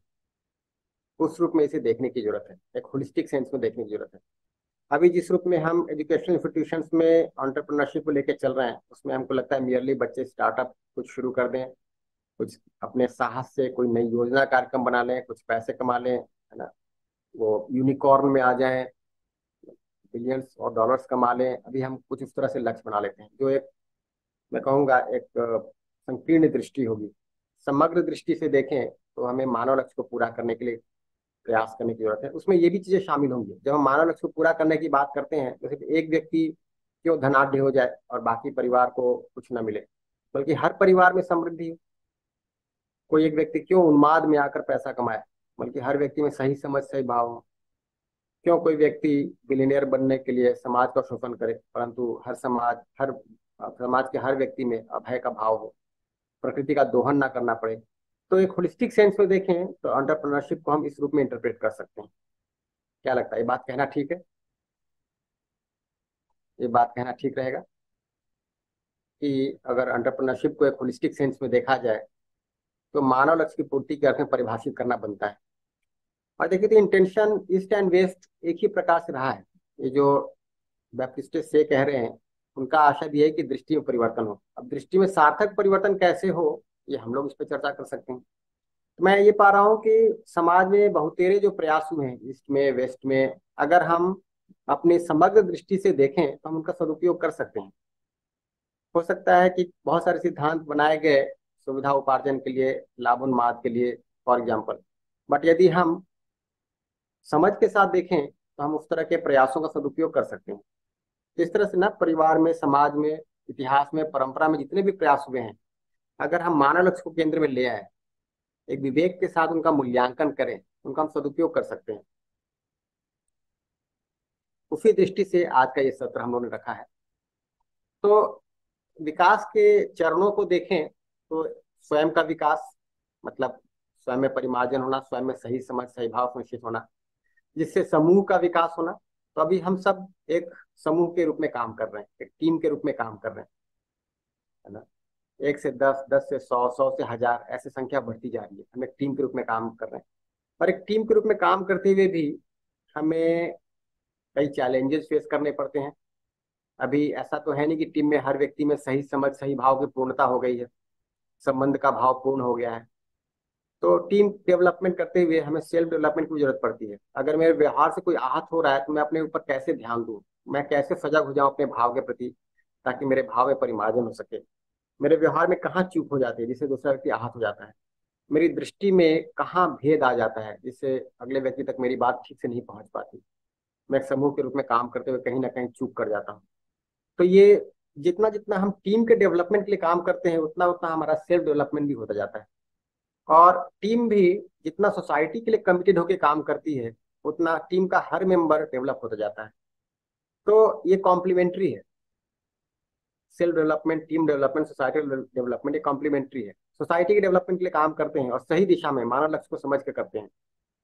तो मेरे अंदर स्वयं विवेक जागृत होता है क्योंकि मानव लक्ष्य को पूरी तरह समझना ज़रूरी है। और विवेक तो ज्ञान के आधार पर ही सुनिश्चित हो सकता है कि मुझे ज्ञान के लिए काम करना होता है। तो जैसी बात हम लोग हर बार करते रहे कि एक छोर पर स्वयं में अनुभव के लिए काम करना है, दूसरे छोर पर सार्वभौम व्यवस्था में भागीदारी करनी है। उस क्रम में ही ये डेवलपमेंट के भिन्न भिन्न चरण दिखाई देते हैं। तो अभी हम लोग कुछ चर्चा करेंगे। आ, अगर उन बातों को देखें तो मोर और लेस वो डूज एंड डोंट्स के रूप में है कि क्या करें क्या ना करें कैसे करें। परंतु यदि हम उसको एक्सप्लोर करें तो उसका जो एसेंस है वो हम पकड़ सकते हैं। उसका एसेंस क्या है? तो ये कुछ सेवन की पॉइंट्स अभी आपके सामने रख रहे हैं। अगर रेफरेंस देखें तो ये यूट्यूब पे एक वीडियो है मिस्टर दीपक बजाज का। इनके यूट्यूब को इनके वीडियो को देखते हुए कुछ प्रेरणा मिली कि ये बातों को अगर यहाँ जोड़ा जाए तो हम जिस समाज के काम में लगे हैं जिस तरह से हम मूल्य शिक्षा के लिए काम कर रहे हैं उसको और बेहतर बनाया जा सकता है। तो ये एक रेफरेंस है। ये मेरी तरफ़ से ऐसा कोई क्लेम नहीं है कि दीपक बजाज जी आ, सही समझ सही भाव पूर्ण है ऐसा कुछ है। तो एक रेफरेंस के रूप में यहाँ पे लिया गया है और इनकी बातें उपयोगी लगी हैं इसलिए यहाँ पे रखा जा रहा है। इसके साथ मैं एक डिस्क्लेमर भी रख देता हूँ यहाँ पर। तो जो सात महत्वपूर्ण बातें इन्होंने कही हैं उसको अगर देखें तो एक तो बात यह है कि हम कोई भी काम अपने हाथ में लेते हैं, उसकी पूर्ण ज़िम्मेदारी लेते है। ना? तो absolute ownership of task at hand कोई भी काम हम लेते हैं, जैसे हम सभी बहुत सारे रूल्स एंड रिस्पॉन्सिबिलिटीज लिए गए हैं। हमारी बहुत सारी रेगुलर एक्टिविटीज़ हैं और बहुत सारे प्रोजेक्ट्स हैं जिसमें हम काम कर रहे हैं। रेगुलर एक्टिविटीज़ के रूप में देखें तो वीकली वर्कशॉप्स हो रहे हैं वीकली मीटिंग्स हो रहे हैं मॉर्निंग सेशंस चल रहे हैं। ढेर सारे काम हो रहे हैं। प्रोजेक्ट्स रूप में देखें तो नई पुस्तकें लिखी जा रही हैं ट्रांसलेशन का काम हो रहा है। बच्चों के लिए वर्कबुक्स बनाए जा रहे हैं ना? साथ ही वेल एजुकेशन सेल बनाकर बहुत सारा काम किया जा रहा है। वर्कशॉप्स हो रहे हैं face to face self funded mode में हो रहे हैं स्पॉन्सर्ड मोड में भी हो रहे हैं। कुछ थ्री डेज़ के हैं, कुछ फाइव डेज़ के हैं। तो बहुत सारी चीज़ों को हम लोग एक साथ कर रहे हैं, मिलकर एज ए टीम कर रहे हैं। तो अगर इन बातों का हम ध्यान रखेंगे तो हमारे जो कार्य करने में कुशलता है, निपुणता है, वो ज़्यादा बेहतर हो सकती है। इस पर विस्तार से बात करेंगे और इसको हम लोग थोड़ा इंटरेक्टिव रखेंगे। जो भी मैं बात कह रहा हूँ, मेरी तरफ़ से तो प्रस्ताव के रूप में है। आप उसको स्वयं में जाँच के देख लें कि ये बात आपको सहज रूप से स्वीकार होती है कि नहीं। तो कोई भी काम हमें मिलता है, क्या हमें उसकी पूर्ण ज़िम्मेदारी लेना सहज रूप से स्वीकार है कि नहीं? जिसको अपने आप में देख सकते हैं। वैसे ही टेकिंग मोर इनिशिएटिव्स आगे बढ़कर पहल करना। एक होता है कि कोई बात, कोई काम आपको कहा गया और जितना कहा गया उतना आप कर दे रहे हैं। दूसरी बात होती है कि हम आगे बढ़कर पहल लेते हैं, पहल करते हैं और, है ना, उसको खुद से हम बेहतर से बेहतर बनाने का प्रयास करते हैं। तीसरी बात है कि doing more and talking less अधिक करना और कम बोलना। तो ये भी एक ज़रूरी बात है। कई बार क्या होता है कि हम कोई कार्य करने जाते हैं, उसमें जो भी मात्रा में हम सफल होते हैं, उससे हो सकता है हम अपने मूल्यांकन में चूक करें। और अपने बारे में बहुत सारी बातें करने लगते हैं, या जो प्रोग्राम लेके चल रहे हैं, उसके बारे में बहुत सारी बातें करने लगते हैं। तो अगला व्यक्ति भी हमारी बातों से आश्वस्त नहीं हो पाता। तो अगर इस पर हमारा ध्यान रहे कि हमें ज़्यादा भागीदारी करनी है और कम अभिव्यक्ति करनी है तो उपयोगी होगा। चौथी बात है लॉ ऑफ़ एक्स्ट्रा अतिरिक्त का नियम। कि कुछ हम अपने आप से जोड़कर भी अगर उसको कुछ काम करते हैं तो वो भी कंट्रीब्यूट करेगा पूरे टीम के डेवलपमेंट में सोसाइटी के डेवलपमेंट में, हमारे स्वयं के डेवलपमेंट में। Then finishing what you start आप जो भी शुरू करते हैं, उसे पूरा करना। कई बार ऐसा होता है कि हम कोई काम शुरू करते हैं, उसे बीच में हम छोड़ देते हैं। हमने अपनी लाइफ में बहुत सारे काम शुरू किए होंगे, बहुत सारे अभ्यास शुरू किए होंगे बट हो सकता है हम उसे बीच में छोड़ देते हैं। नेक्स्ट बात है इमोशनल रेजिलियंस भावनात्मक लचीलापन। इसका मतलब ये हुआ, ये भाषा तो जो व्यक्ति हैं, इन्होंने दिया उसका मतलब इतना ये हुआ कि हमें कई सारे उतार चढ़ाव फेस करने पड़ते हैं। जैसे अपने कॉलेज में यूनिवर्सिटी के सहयोग से आपने वेल एजुकेशन का काम शुरू किया। बट हो सकता है डायरेक्टर बदल गए और अगले जो डायरेक्टर आए, उनकी तरफ़ से उत्साह नहीं दिख रहा। तो कार्यक्रम धीमे पड़ जाते हैं। लोगों की संख्या घटने लगती है। कि नहीं? ऐसा होता है तो कई बार आप एम्बरास फील करते हैं डिप्रेस फील करते हैं, उत्साह घट जाता है। तो हमें अगर अपने आप में सही समझ, सही भाव के लिए काम करने की प्रेरणा बनी हुई है, हमको स्वयं में स्पष्टता बनी हुई है तो बाहर की घटनाओं से हम बहुत प्रभावित नहीं होते। बल्कि हमको दिखता है कि ये भी एक अवसर है मेरे लिए। मैं अपनी तरफ़ से तो ये कहूँगा कि हर परिस्थिति एक अवसर है। अगर आपको कॉलेज में फैल कर काम करने की अनुकूलता बनी हुई है तो बढ़िया अवसर है। आप अधिक से अधिक लोगों के साथ जुड़ के काम कर सकते हैं, बड़ा टीम बना सकते हैं, सोसाइटी के लिए मेजर रूप से भागीदारी कर सकते हैं। और यदि वो अवसर नहीं है तो आप स्वयं में और गहराई से काम कर सकते हैं। आप अपने ऊपर समय लगा सकते हैं सेल्फ डेवलपमेंट के लिए काम कर सकते हैं। तो हर परिस्थिति आपके लिए एक अवसर है। और आखिरी जो बात है फीडबैक सिस्टम इस पर डिस्कशन करेंगे। जी इतनी बात को लेकर किन्हीं का कोई प्रश्न हो तो हैंड रेज कर सकते हैं।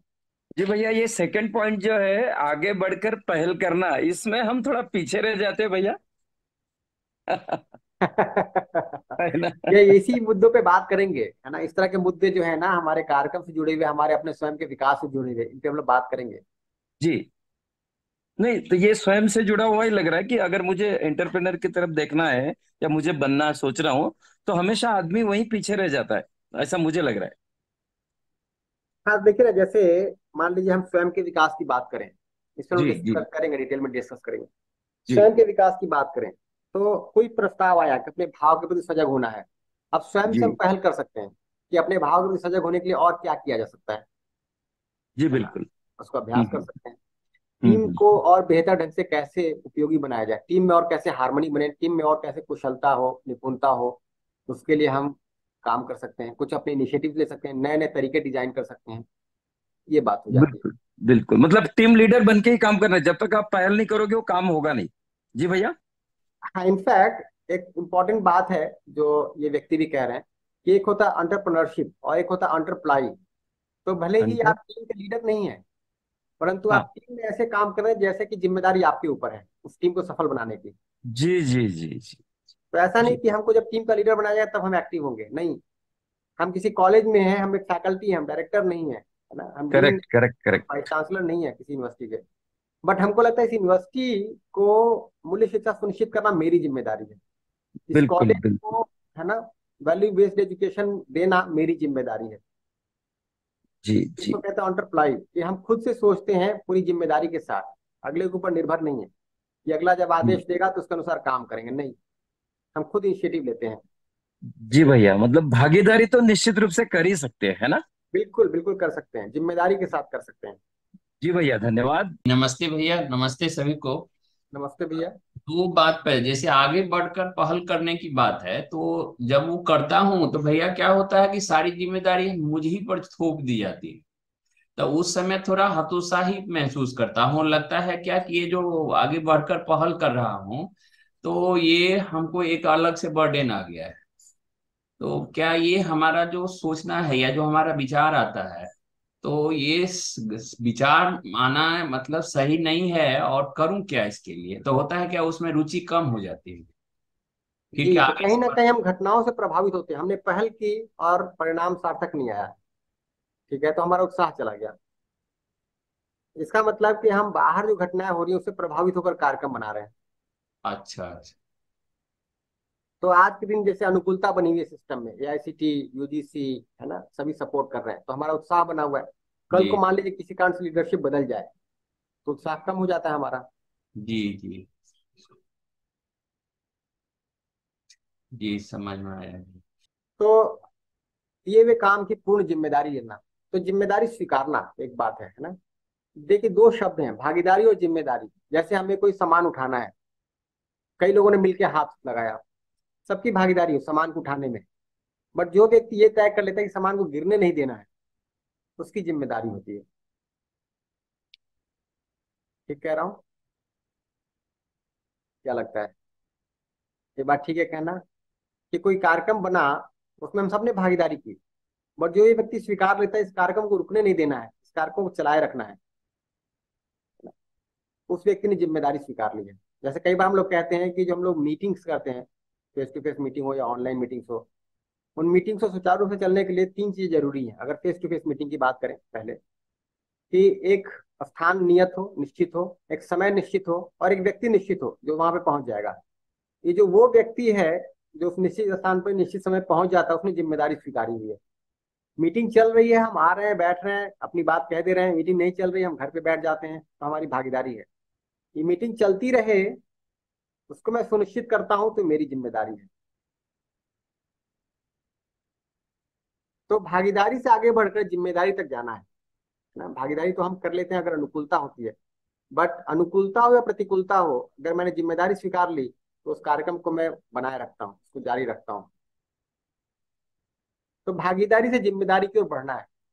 और यदि हम जिम्मेदार होते हैं तो फिर ये तीन चीज़ें हम नहीं करेंगे। कोई रिमाइंडर्स की हमको ज़रूरत नहीं है। ना, जैसे अभी भी देखिए हम टीम में काम कर रहे होते हैं तो हमें कई बार रिमाइंडर्स देने पड़ते हैं या रिमाइंडर्स लेने पड़ते हैं। ठीक है ये और बात हो सकती है कि हम इतने सारे कामों में व्यस्त हो जाते हैं कि हमें रिमाइंडर्स की ज़रूरत पड़ जाती है बट हम देखें कैसे ऐसा हो कि हमें रिमाइंडर्स की ज़रूरत ना पड़े। है ना? ये कैसे हमारे अभ्यास में आ जाए। कोई एक्सक्यूज हमको ना बनाना पड़े।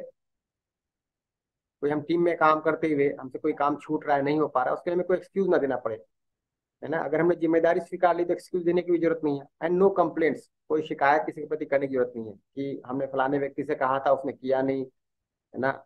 ये चीज़ हुई नहीं सिस्टम चला नहीं डेटा मिला नहीं and so on so fourth और ये हमारे एक अभ्यास में आ सकता है। ये आपके परिवार में भी एक अभ्यास में आ सकता है। आपके परिवार में जो भागीदारी हो रही है, कि परिवार में कोई काम होना है ना? आपने निश्चित कर लिया, आपने ज़िम्मेदारी स्वीकार ली तो फिर ये तीन चीज़ें आप नहीं करेंगे। है ना? ना कोई रिमाइंडर की ज़रूरत पड़ेगी, ना कोई बहाना बनाएँगे, ना कोई शिकायत करेंगे किसी के प्रति, बल्कि परिवार की व्यवस्था के लिए हम कमिटेड फील करते हैं। वैसे टीम की व्यवस्था के लिए हम कमिटेड फील करते हैं, इनकी ज़रूरत हमको नहीं पड़ेगी। है ना? समाज के विकास के लिए हम कमिटेड फील करते हैं। और उद्यमिता में ये चीज़ें शामिल है। ना? हम कोई भी इनिशिएटिव लेते हैं, ऐसा नहीं कि हमारे करने से कोई काम सफल हो जाएगा। क्योंकि सफलता तो बहुत सारी बातों पर निर्भर करेगी। उसमें मेरा प्रयास एक तरफ़ है, परंतु बहुत सारी और जो लोगों की भागीदारी है, जो भौतिक रासायनिक घटनाएँ घट रही है चारों तरफ़, है ना? उन सबके योग संयोग से मेरा काम सफल होना है या असफल होना है। तो अभी हम जब शुरू करते हैं तो भागीदारी से शुरू करते हैं। आपको कोई एक टास्क दे दिया गया और आप दिए गए टास्क को करते हैं। परंतु धीरे धीरे हमें इस दिशा में बढ़ना है कि हम उस पूरे टास्क की ज़िम्मेदारी ले लें। हम में से हर व्यक्ति एक एक कॉलेज की ज़िम्मेदारी ले सकता है, एक एक परिवार की ज़िम्मेदारी ले सकता है। परिवार के परिवार समूह की ज़िम्मेदारी ले सकता है। है ना कि इस पूरे परिवार समूह में व्यवस्था सुनिश्चित करना मेरी ज़िम्मेदारी है। उसके लिए अपना तन, मन, धन लगाकर हम सुनिश्चित करेंगे। तो ये एक हमारा एटीट्यूड एक अप्रोच बन सकता है। कॉलेज में आज दिन अनुकूलता है डायरेक्टर बात सुन रहे हैं मैनेजर बात सुन रहा है तो एक तरह की स्थिति है। नहीं सुन रहे तो भी मुझे किस तरह से पूरे कार्यक्रम गतिमान रखना है, वो मेरी ज़िम्मेदारी है। तो आप पाएँगे धीरे धीरे रास्ते निकलने लगते हैं। आपके क्लैरिटी को, आपके कमिटमेंट को देखते हुए रास्ते बनते जाते हैं। तो ये भाव हमारे अंदर आए ज़िम्मेदारी स्वीकारने का, है ना? जैसे कोई काम आपको एक बार दे दिया गया तो फिर लौट कर पहले व्यक्ति के पास में आए। फिर आप खुद लौट कर आए और कहें कि इसमें ये चीज़ अगर जोड़ दी जाए तो काम ज़्यादा ठीक से होगा। ऐसा नहीं कि ये काम नहीं हो सकता, इसलिए हमने वापस कर दिया उस काम को। ये हम देखें कैसे हमें हो सकता है, ये गुण हमें कैसे आ सकता है। जी, इतनी बात को लेकर यदि किन्हीं कोई प्रश्न हो तो हैंड रेज कर सकते हैं। ये बात ठीक कह रहे हैं? ज़िम्मेदारी स्वीकारने वाली बात ठीक है? भैया ये तो बिल्कुल समझ में आ रहा है वो सही बात कह रहे हैं आप। लेकिन समय समय पे मूल्यांकन भी ज़रूरी है। ऐसा ठीक है भैया? सतत मूल्यांकन समय समय पे क्यों? हर क्षण मूल्यांकन करेंगे। हम ज़िम्मेदारी स्वीकार भी रहे हैं ना तो अपनी योग्यता का आकलन करेंगे। तो हम अपनी योग्यता का आकलन करके ही ज़िम्मेदारी स्वीकारेंगे।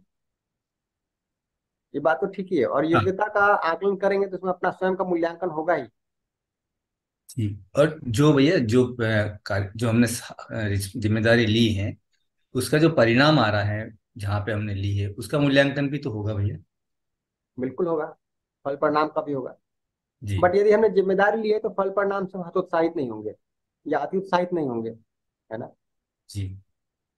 हमको दिखता है कि फल परिणाम में तो बहुत सारी चीज़ों का योग संयोग है ठीक है? परंतु जो मेरी भागीदारी है जो मेरे अंदर ज़िम्मेदारी का भाव है वो तो निश्चित है। ठीक बात ठीक है भैया। ठीक। तो ये पहली बात थी कि दिए गए काम की पूर्ण ज़िम्मेदारी स्वीकारना। दूसरी बात है कि नए इनिशिएटिव लेना अपने आगे बढ़कर खुद से इनिशिएटिव लेना तो नए कार्यों के लिए स्वेच्छा से कार्य करना। जैसे मैंने देखा कि वीडियो एडिटिंग का काम दिया गया तो लोगों ने खुद से आगे बढ़कर नए नए स्किल सीखे। ऐसे कई साथी जिन्होंने कभी वीडियो एडिटिंग नहीं की थी सॉफ्टवेयर पे काम नहीं किया था ये विजुअल कम्युनिकेशन वाले सॉफ्टवेयर पे काम नहीं किया था उन्होंने बहुत सारे सॉफ्टवेयर सीखे, बहुत अच्छी बात है है ना? कि स्वेच्छा से हम आगे बढ़कर इनिशिएटिव ले रहे हैं, ज़िम्मेदारी स्वीकार रहे हैं। ये काम मैं करके देखना चाहता हूँ। अपने आप से पहल करना और फिर धीरे धीरे योग्यता विकसित करना। ऐसा नहीं है कि हम कोई कार्य करने से पहले पूर्ण विकसित हो जाते हैं, पूर्ण योग्य हो जाते हैं, ऐसा कभी नहीं हो पाता, है ना? कार्य को करते हुए हम अपने आप को जांचते भी रहते हैं, जीकर देखते भी रहते हैं और धीरे धीरे हमारी योग्यता बढ़ती जाती है। ऐसा हमने अपने आप में भी एक्सपीरियंस किया होगा। बट यदि हम पहल ही ना करें, हम गलतियों से डरें। अरे, कहीं ऐसा ना हो कि पहल करें और गलती हो जाए, लोग हंसेंगे, है ना, मेरे बारे में अपमानजनक बातें करेंगे तो हम कभी आगे बढ़कर कोई इनिशिएटिव ले ही नहीं पाते। इनफैक्ट आप देखें तो पूरा जो वैल्यू एजुकेशन का काम शुरू हुआ, इसी प्रकार शुरू हुआ, है ना, कि भाई करना तो है ही, जहाँ जैसे शुरुआत हो जाए। एक ऑडिट कोर्स ग्रुप में शुरू होता है ऑडिट में शुरू हो जाए ट्रेड कोर्स ग्रुप में शुरू होता है ट्रेड कोर्स ग्रुप में शुरू हो जाए। तो उसी रूप में काम शुरू हो गया। और आज के दिन देखिए तो आप सब लोगों के भी कहीं ना कहीं पहल लिए जा रहे हैं। जो जिस कॉलेज में है, वहाँ पहल ले रहा है। जो जिस स्कूल में है, वहाँ पहल कर रहा है। है ना? कोई गाँव मोहल्ले में पहल कर रहा है। कि नहीं? और फिर उस क्रम में धीरे धीरे अपनी योग्यता विकसित करना।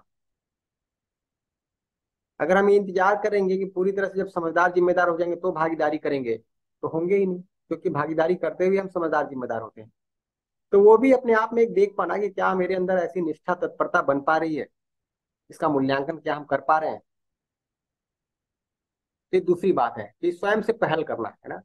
और अभी देखिए, हम सबको दिखाई दे कि अल्टीमेटली अगर हम ज़िम्मेदारी की बात करें, अखंड समाज का आरोहण व्यवस्था की ज़िम्मेदारी मेरी है। ये भाव भी अपने आप में विकसित होना एक महत्वपूर्ण बात है। अगर हर व्यक्ति महसूस करे कि मानवीय परंपरा की ज़िम्मेदारी मेरी है ठीक है ना? तो आप देखेंगे कि जितना भी आप कर पाते हैं, उसमें आपका विकास तो सुनिश्चित हो जाता है। आपका लक्ष्य विधि कार्यक्रम तो निश्चित हो जाता है, कि नहीं? ये दूसरी बात थी तीसरी बात है कि, है ना डूइंग मोर टॉकिंग लेस ज़्यादा काम करना और कम बातें करना। तो अभी थोड़ा सा देखें तो हमारे समाज में थोड़ा सा एक अधिक बोलने का भी प्रचलन है कि जहाँ बैठ गए हम लोग, बहुत सारी बातें करने लगते हैं। कई बार शुरुआत तो सार्थक बातों से करते हैं, फिर अनावश्यक बातें करने लगते हैं, फिर निंदा करने लगते हैं। और एक आम सी एक आम सा अभ्यास है, सामान्य सा अभ्यास है कि हम बैठ के निंदा शुरू कर देते हैं, है ना? निंदा पुराण कहते हैं कि निंदा पुराण खोल दिया हमने। ठीक बैठ के सिस्टम की आलोचना कर रहे हैं, मैनेजमेंट की आलोचना कर रहे हैं, कलीग्स की आलोचना कर रहे हैं, बच्चों की आलोचना कर रहे हैं, सोसाइटी की आलोचना कर रहे हैं ठीक लीडर्स की आलोचना कर रहे हैं, और उसमें इतना सारा समय लगा देते हैं कि नहीं बट यदि हमको दिखाई दे कि नहीं, मुझे अपनी भागीदारी, अपनी ज़िम्मेदारी पे ध्यान देना है तो हम उसमें अपना समय लगाएँगे। और भले ही हम कम प्रॉमिस करें, है ना, और उससे ज़्यादा हम डिलीवर करने का प्रयास करेंगे। कई बार क्या होता है, हम प्रॉमिस तो बहुत सारा कर देते हैं डिलीवर नहीं कर पाते। तो ज़्यादा अच्छा है कि हम प्रॉमिस कम करें और काम ज़्यादा करके दे दें, है ना। ये अगर टीम का हर व्यक्ति सोचे कि मुझे प्रॉमिस कम करना है और डिलीवर ज़्यादा करना है तो आप पाएँगे आउटपुट हंड्रेड परसेंट से ऊपर आएगा, क्योंकि तो जितना हमने एस्टिमेट किया उससे ज़्यादा काम हो जाएगा, कि नहीं? और सही मूल्यांकन करना आवश्यकता अनुसार साझा करना, अपना सही मूल्यांकन करना हर क्षण, ये तो हम सबके लिए ज़रूरी है। और जब दूसरे के साथ हम कुछ शेयर भी कर रहे हैं तो आवश्यकता अनुसार शेयर करेंगे नहीं? कई बार ऐसा होता है ना कि मान लीजिए कोई असफलता हुई, और हम उसको लेकर डिप्रेस फील कर गए। हम चार लोग और बैठा लिए साथ में। अरे, कुछ हो नहीं रहा है। कॉलेज तो बिल्कुल बकवास है। यहाँ डायरेक्टर तो सुनता नहीं है। ये मैनेजमेंट के लोग तो बिल्कुल बेकार के लोग हैं। इनसे कुछ उम्मीद नहीं रखी जा सकती। अब जहाँ हम हतोत्साहित हम चार लोग और हतोत्साहित करके अपने साथ में। तो ये भी एक निगेटिव फैक्टर बन जाता है। एक, ना, हमारे कार्यक्रम में एक नुकसान पहुँचाने वाली बात हो जाती है। तो हम अपने आप में देखें कि हम अपने आप में फील करें क्या हम कंट्रीब्यूट कर सकते हैं। दूसरे से जब कम्युनिकेट करें तो हम जितना कर सकते हैं, भले उससे कम बताएँ बट उससे ज़्यादा काम करने का हम अभ्यास उससे ज़्यादा काम करने का प्रयास करें। अगली बात है कि अपेक्षा से कुछ अधिक करना तो जैसे जितना हमारे कार्यक्रम से एक अपेक्षा है ना, उससे हम कुछ अधिक करने का प्रयास करते हैं। तो जैसे हम जिस भी कार्यक्रम में लगे हैं, कोई प्रोजेक्ट में ही लगे हैं, कोई एक्टिविटी में ही लगे हैं है। ना तो हम देखें कि इसमें और अधिक क्या हो सकता है। जैसे मॉर्निंग सेशन में ही जो लोग सुबह के सत्र को शुरू करते हैं, उन्होंने खुद से एक इनिशिएटिव लिया कि क्यों ना जो भी प्रश्न पूछे जा रहे हैं, उनको नोट कर लिया जाए। उनके रिस्पॉन्सेज को भी नोट कर लिया जाए। तो एक मॉर्निंग सेशन का एक अच्छा इफ़ेक्टिव बन गया है। फ्रिक्वेंटली आस्क क्वेश्चन की एक लिस्ट बन गई है है ना? उसके रिस्पॉन्सेज नोट होने लगे हैं। उसी क्रम में देखें तो जहाँ जहाँ अपने को लगता है कोई कमी है, कोई कसर है, हम उसके लिए कुछ नए तरीके निकाल सकते हैं। तो हम उसको सोच लेते हैं, उसको करना शुरू कर देते हैं। तो ये दोनों बातें एक तो हम जो दूसरे को प्रॉमिस कर रहे हैं कि हम इतना करके डिलीवर कर देंगे तो हम भले ही कम कर रहे हैं, उससे ज़्यादा करके देते हैं। और दूसरा, हम खुद से सोचते हैं कि हम इससे और क्या ज़्यादा आउटपुट दे सकते हैं, और क्या बेहतर कर सकते हैं। अगर हम सेल्फ डेवलपमेंट की बात करें, है ना तो अभी हम लोग अभ्यास, एक अभ्यास दो कर रहे हैं। तो हम देखें कि इन एक एक स्टेप में और क्या बेहतर ढंग से हम देख सकते हैं, और कैसे हम अपने भाव में परिमार्जन कर सकते हैं, कैसे विचारों में परिमार्जन कर सकते हैं। कैसे अपने आचरण में परिमार्जन कर सकते हैं। और फिर दूसरी बात जो ज़रूरी है कि नियमित अभ्यास करें हम, है ना? जैसे वो बात कही जाती है, करत करत अभ्यास के जड़मती हो सुजान, कि नहीं? तो अभ्यास ज़रूरी है। तो जैसे अभी हम लोग अभ्यास कर भी रहे है ना? बट स्वयं में भी ये एक अभ्यास करते रहना ताकि हम भाव को सजगता पूर्वक देख पाए, हम व्यवस्था को ठीक से देख पाए। संबंध को ठीक से देख पाए। ठीक। ऐसा नहीं कि जब तक सेशन चल रहा है, हमारा अभ्यास बना हुआ सेशन ओवर हो गया, हमारा अभ्यास चला गया। सुबह में सेशन चल रहा है तो हम अभ्यास कर रहे हैं सेशन ओवर हो गया, हमारा अभ्यास रुक गया। ऐसा नहीं। तो हम नियमित अभ्यास कर पाए और स्वयं से नए नए स्किल्स सीख पाए। अभी बहुत सारी स्किल की ज़रूरत पड़ रही है कि नहीं? और बहुत सारे नए नए टेक्निक्स भी आ रहे हैं। अभी किसी पुस्तक को ट्रांसलेट करना बहुत ही सरल हो गया है। पहले बहुत मुश्किल था। गूगल ट्रांसलेट और ऐसे बहुत सारी चीज़ आ गई हैं। कोई रिपोर्ट बनाने में देखें तो चैट जीपीटी, इस तरह के बहुत सारे स्किल्स आ गए हैं। एडवांस एक्सेल के कोर्सेज आ गए हैं। तो आप ये देख पाएँगे कि वही चीज़ें जो आज तक हम कंपनी में परफॉर्म करने के लिए, कॉलेज में प्रमोशन के लिए, नेम एंड फेम के लिए शायद प्रयोग करते, अगर हम उन्हीं स्किल्स को मानव लक्ष्य के रूप में प्रयोग करें, एक वॉलंटरी बेसिस पे हम उसको सीखें और कंट्रीब्यूट करें, है ना? तो आप देख सकते हैं कि समाज की गति कितनी बढ़ सकती है। अभी भी देखें तो पूरा कार्यक्रम जो मूल्य शिक्षा का है, एक वॉलंटरी बेसिस पे आगे बढ़ रहा है। किसी को कोई रेमोनरेशन नहीं मिल रहा। सभी अपना समय लगा रहे हैं। कई लोगों ने ये भी तय कर लिया कि जितना हमको सुविधा कमानी थी, वो पूरी हो गई। पूरा समय इसीलिए लगा रहे हैं। ऐसे भी अपने साथी हैं।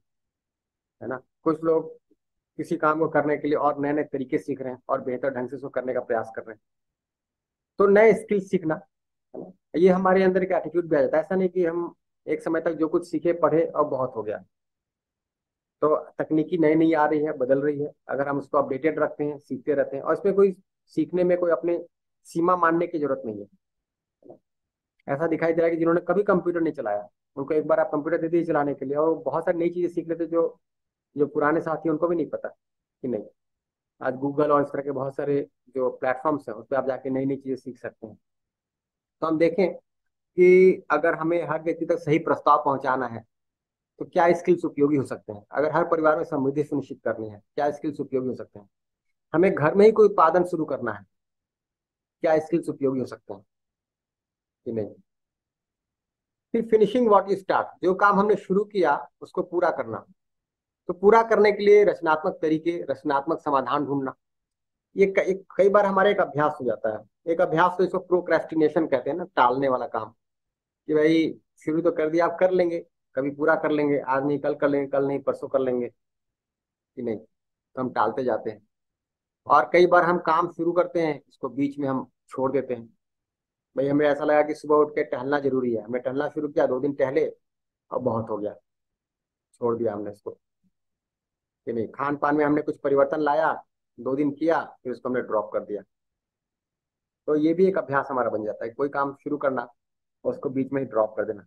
इनफैक्ट ये जो अगली बात है कि बीच में नहीं रुकना, शुरू से अंत तक योजना बनाना। जैसे आप पाएँगे, कई बार मान लीजिए हमें एक वर्कशॉप भी ऑर्गेनाइज करना है तो हम उसका पूरा सेशन प्लान बना लेते हैं, ठीक है ना? अगर फेस टू फेस वर्कशॉप की बात करें, ठीक है? लोगों के ठहरने की व्यवस्था कैसे होगी, ये कैसे होगी, हमने बना लिया। बट जब पूरा वर्कशॉप कंक्लूड हो जाएगा तो काम को जो समेटना है, वो जो गद्दे चादर बिछाए गए, है ना, गद्दे को समेटना है, चादर को धुलना है, वो कमरा जहाँ पे पूरा वर्कशॉप चला खाने पीने की जगह थी, वहाँ जो सफ़ाई करनी है, वो कौन करेगा, उसकी हमने योजना ही नहीं बनाई। तो वर्कशॉप तो हो गया, है ना, हम सब लोग इकट्ठा हुए, अच्छे से बातचीत किए, परंतु वो जो बचा हुआ काम किसी और की जिम्मे आ गया, अब वो परेशान हो रहा है। तो कई बार क्या होता है कि किसी काम के समापन के बारे में हम योजना नहीं बनाते प्लानिंग नहीं करते, कोई डिटेल प्लानिंग नहीं रहती है। इनफैक्ट जापान में जो टेगोटल क्वालिटी मैनेजमेंट के स्किल्स तैयार हुए तो उसमें एक इंपॉर्टेंट पार्ट ये भी होता है कि how to finish a task किसी काम को पूरा कैसे करना है? तो उसका एट्टी परसेंट एनर्जी आपका लगता है काम को करने में बट ट्वेंटी परसेंट एनर्जी लगाना ज़रूरी है काम को ठीक से पूरा करने में। अगर कोई इवेंट हो गया, उसकी रिपोर्ट बननी है, उसका कम्युनिकेशन होना है है ना? जो चीज़ें फैल गई उसको समेटना है। अगर वर्कशॉप हो गया, सबको सर्टिफिकेट बटना है है ना? उसका पूरा डेटाबेस तैयार होना है डेटाबेस को पूरा मैनेज करना है, उसको प्रॉपर रिकॉर्ड में रखना है, ठीक?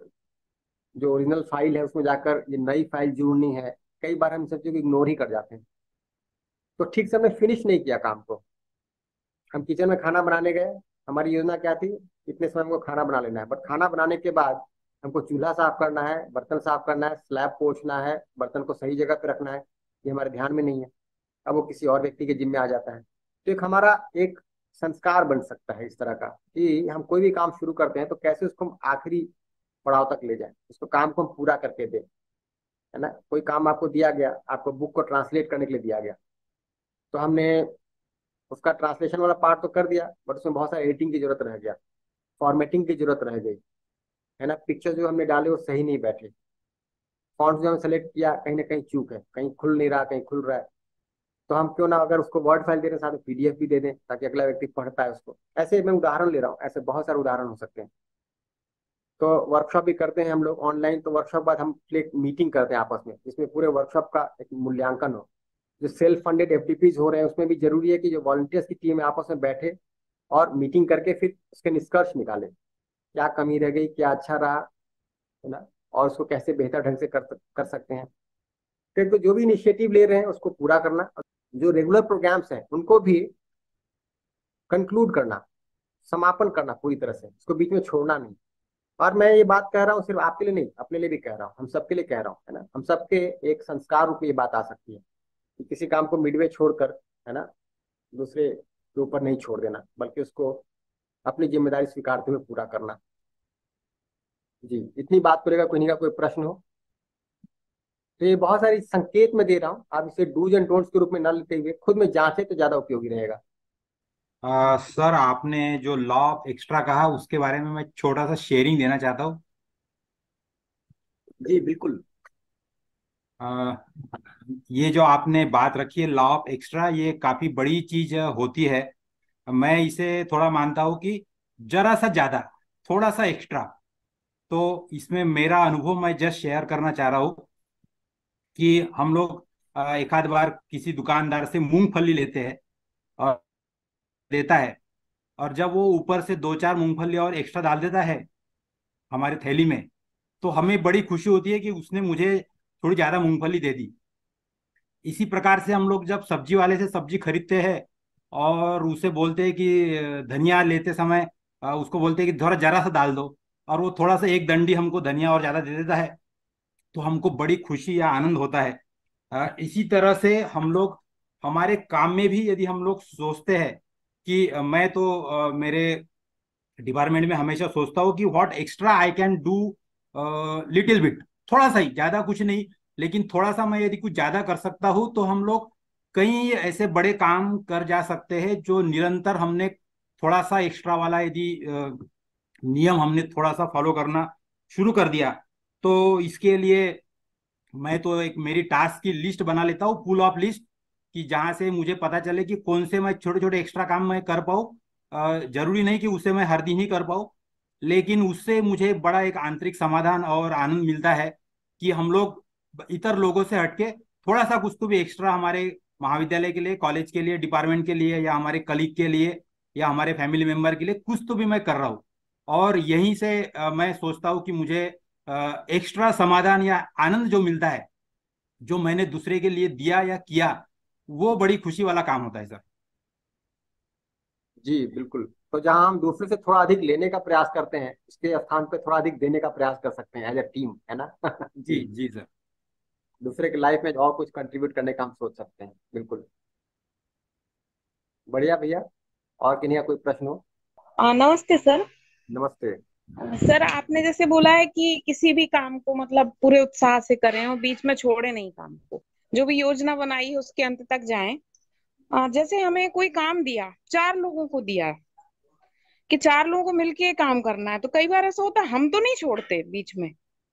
मगर जो तीन लोग हैं, वो उसमें से मान लीजिए कोई कह कह रहा है कि मैं ये काम नहीं कर पा रहा हूँ। और हमने अपना काम भी कर दिया और उसका उत्साह से ही किया, उसका भी कर दिया।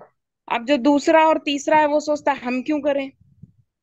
वो भी उसी आदतन मतलब जो बीच में छोड़ने वाली आदत से मजबूर हैं जो लोग, उन्होंने भी छोड़ दिया। अब अकेले हमारे ऊपर सबके काम का बोझ आ गया। और मान लीजिए, हम फिर भी लगे लगे उसको अपना और उन तीनों का भी कर दें तो ये कहा जाता है कि ये काम तो ज़्यादा था ही नहीं, ये तो एक व्यक्ति भी कर सकता था। तो अगली बार कह रहे हैं कि तुम ही पूरा करो। जी। कि हमने पूरी ऊर्जा लगाई सर कि हम अपना भी करते रहे उन तीन का भी करते रहे कि काम हमें आदत नहीं है बीच में छोड़ने की। तो हम पूरा करें लक्ष्य तक पहुँचे। ऐसा हुआ मेरे साथ हुआ था। एडमिशन के टाइम चार लोगों को दिया गया था काम कि चार लोग मिलके करेंगे ज़्यादा बच्चे हैं ये वो। मगर फिर धीरे धीरे धीरे वो मेरे ऊपर आ गया। फिर उन्होंने ये बोला ये तो बहुत सरल काम था और ये तो एक व्यक्ति कर सकता था तो अगले साल से लेके आप ही पूरा करोगे। तो ज़्यादा उत्साह दिखाने के बाद कई बार वर्कलोड इतना दे दिया जाता है कि आदमी परेशान हो जाता है इसके लिए क्या करें सर? वही तो जब हम कार्य की बात करते हैं ना तो कार्य के साथ हम पहले उसके व्यवहार को भी ध्यान देंगे और व्यवहार के मूल में जो समझ है उस पर भी ध्यान देंगे। तो इसलिए मैंने शुरू में जो बात कही कि सही समझ सही भाव तो केंद्र में है ही। जी तो जी।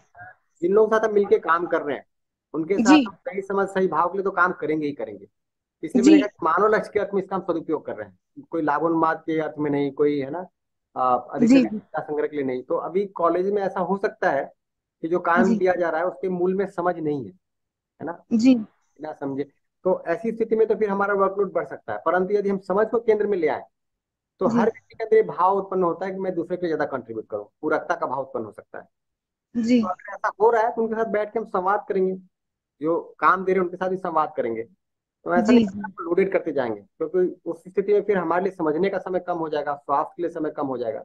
जी जी वही वही। फिर मतलब हम अगर चार का काम करेंगे और तो अपनी आदत हटाकर कोई बात करेंगे ना फिर वहाँ फंसावट है। समझ को तो केंद्र में रखना ही है। रखना ही अगर अपना टीम के साथ मतलब काम करने जा रहे हैं तो सबसे पहले हम कहेंगे टीम के साथ पहले एक वर्कशॉप करें। कम से कम कुछ सेशन तो करें ताकि जो हम काम करने जा रहे हैं उसका रोल रिस्पॉन्सिबिलिटी ठीक से क्लियर हो उसका पर्पज क्लियर हो। जी जी। तो इसको हटा के चलेंगे फिर तो हम फंस जाएँगे। जी। जी धन्यवाद सर। हाँ जी भैया मेरा क्वेश्चन का आपने थोड़ा मतलब काफ़ी हद तक आंसर दे ही दिया दीदी के क्वेश्चन में। क्योंकि मैं भी जो आप प्रपोजल्स रखते हैं उनको इम्प्लीमेंट करने के इतना तो देख ही रही हूँ कि हम लोग स्टूडेंट्स के साथ काफ़ी ज़्यादा प्रोजेक्ट्स में इन्वॉल्व रहते हैं। वहाँ पे स्टूडेंट्स की भागीदारी उस तरह से सुनिश्चित नहीं हो पाती जैसे हमारी होती है। तो उनका क्योंकि बहुत फैला हुआ वो रहता है कि उन्होंने सेमेस्टर एग्ज़ाम भी देने हैं और भी उन्होंने चीज़ें करनी है उसकी वजह से वो प्रोजेक्ट उनकी प्रायोरिटी में नहीं होता। तो अ, मैं यही रोड मैप ही चाह रही थी कि हम शुरुआत कैसे करें और इसको इन्वॉल्व कैसे करें अपनी प्रोसेस। तो देखिए शुरुआत तो समझ से हाँ। करनी है। तो कॉलेज में भी हाँ। हम कॉलेज के पूरे एजुकेशन को वैल्यू बेस्ड बनाने के लिए तो काम करेंगे वैल्यू एजुकेशन सेल को स्टैब्लिश करेंगे, लोगों के साथ वर्कशॉप करेंगे। मेरा तो ये सुझाव है कि हर कॉलेज में, हर छह महीने में, तीन दिनों का अगर एक डीपी अगर हो जाता है सेल्फ फंडेड बहुत ही अच्छा है। तो आप पाएँगे कि ये जो छोटी छोटी चीज़ें पाइलअप होती रहती हैं, उनका फिर निवारण होने लगता है।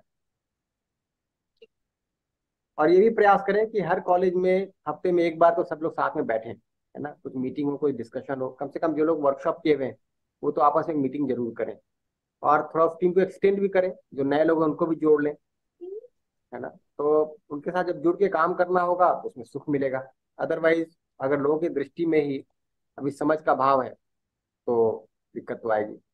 एक बात और है, जो नेक्स्ट बात है कि इमोशनल रेजिलियंस यानी कि थोड़ा भाव में लचीलापन होना, इसका मतलब ये हुआ कि बाहर की घटनाओं से हम प्रभावित न हो।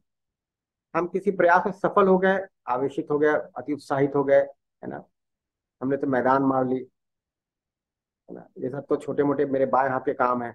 और अगर असफल हो गए तो मैं तो किसी योग्य नहीं, किसी काम का नहीं, मुझसे कुछ नहीं हो पाएगा, है ना?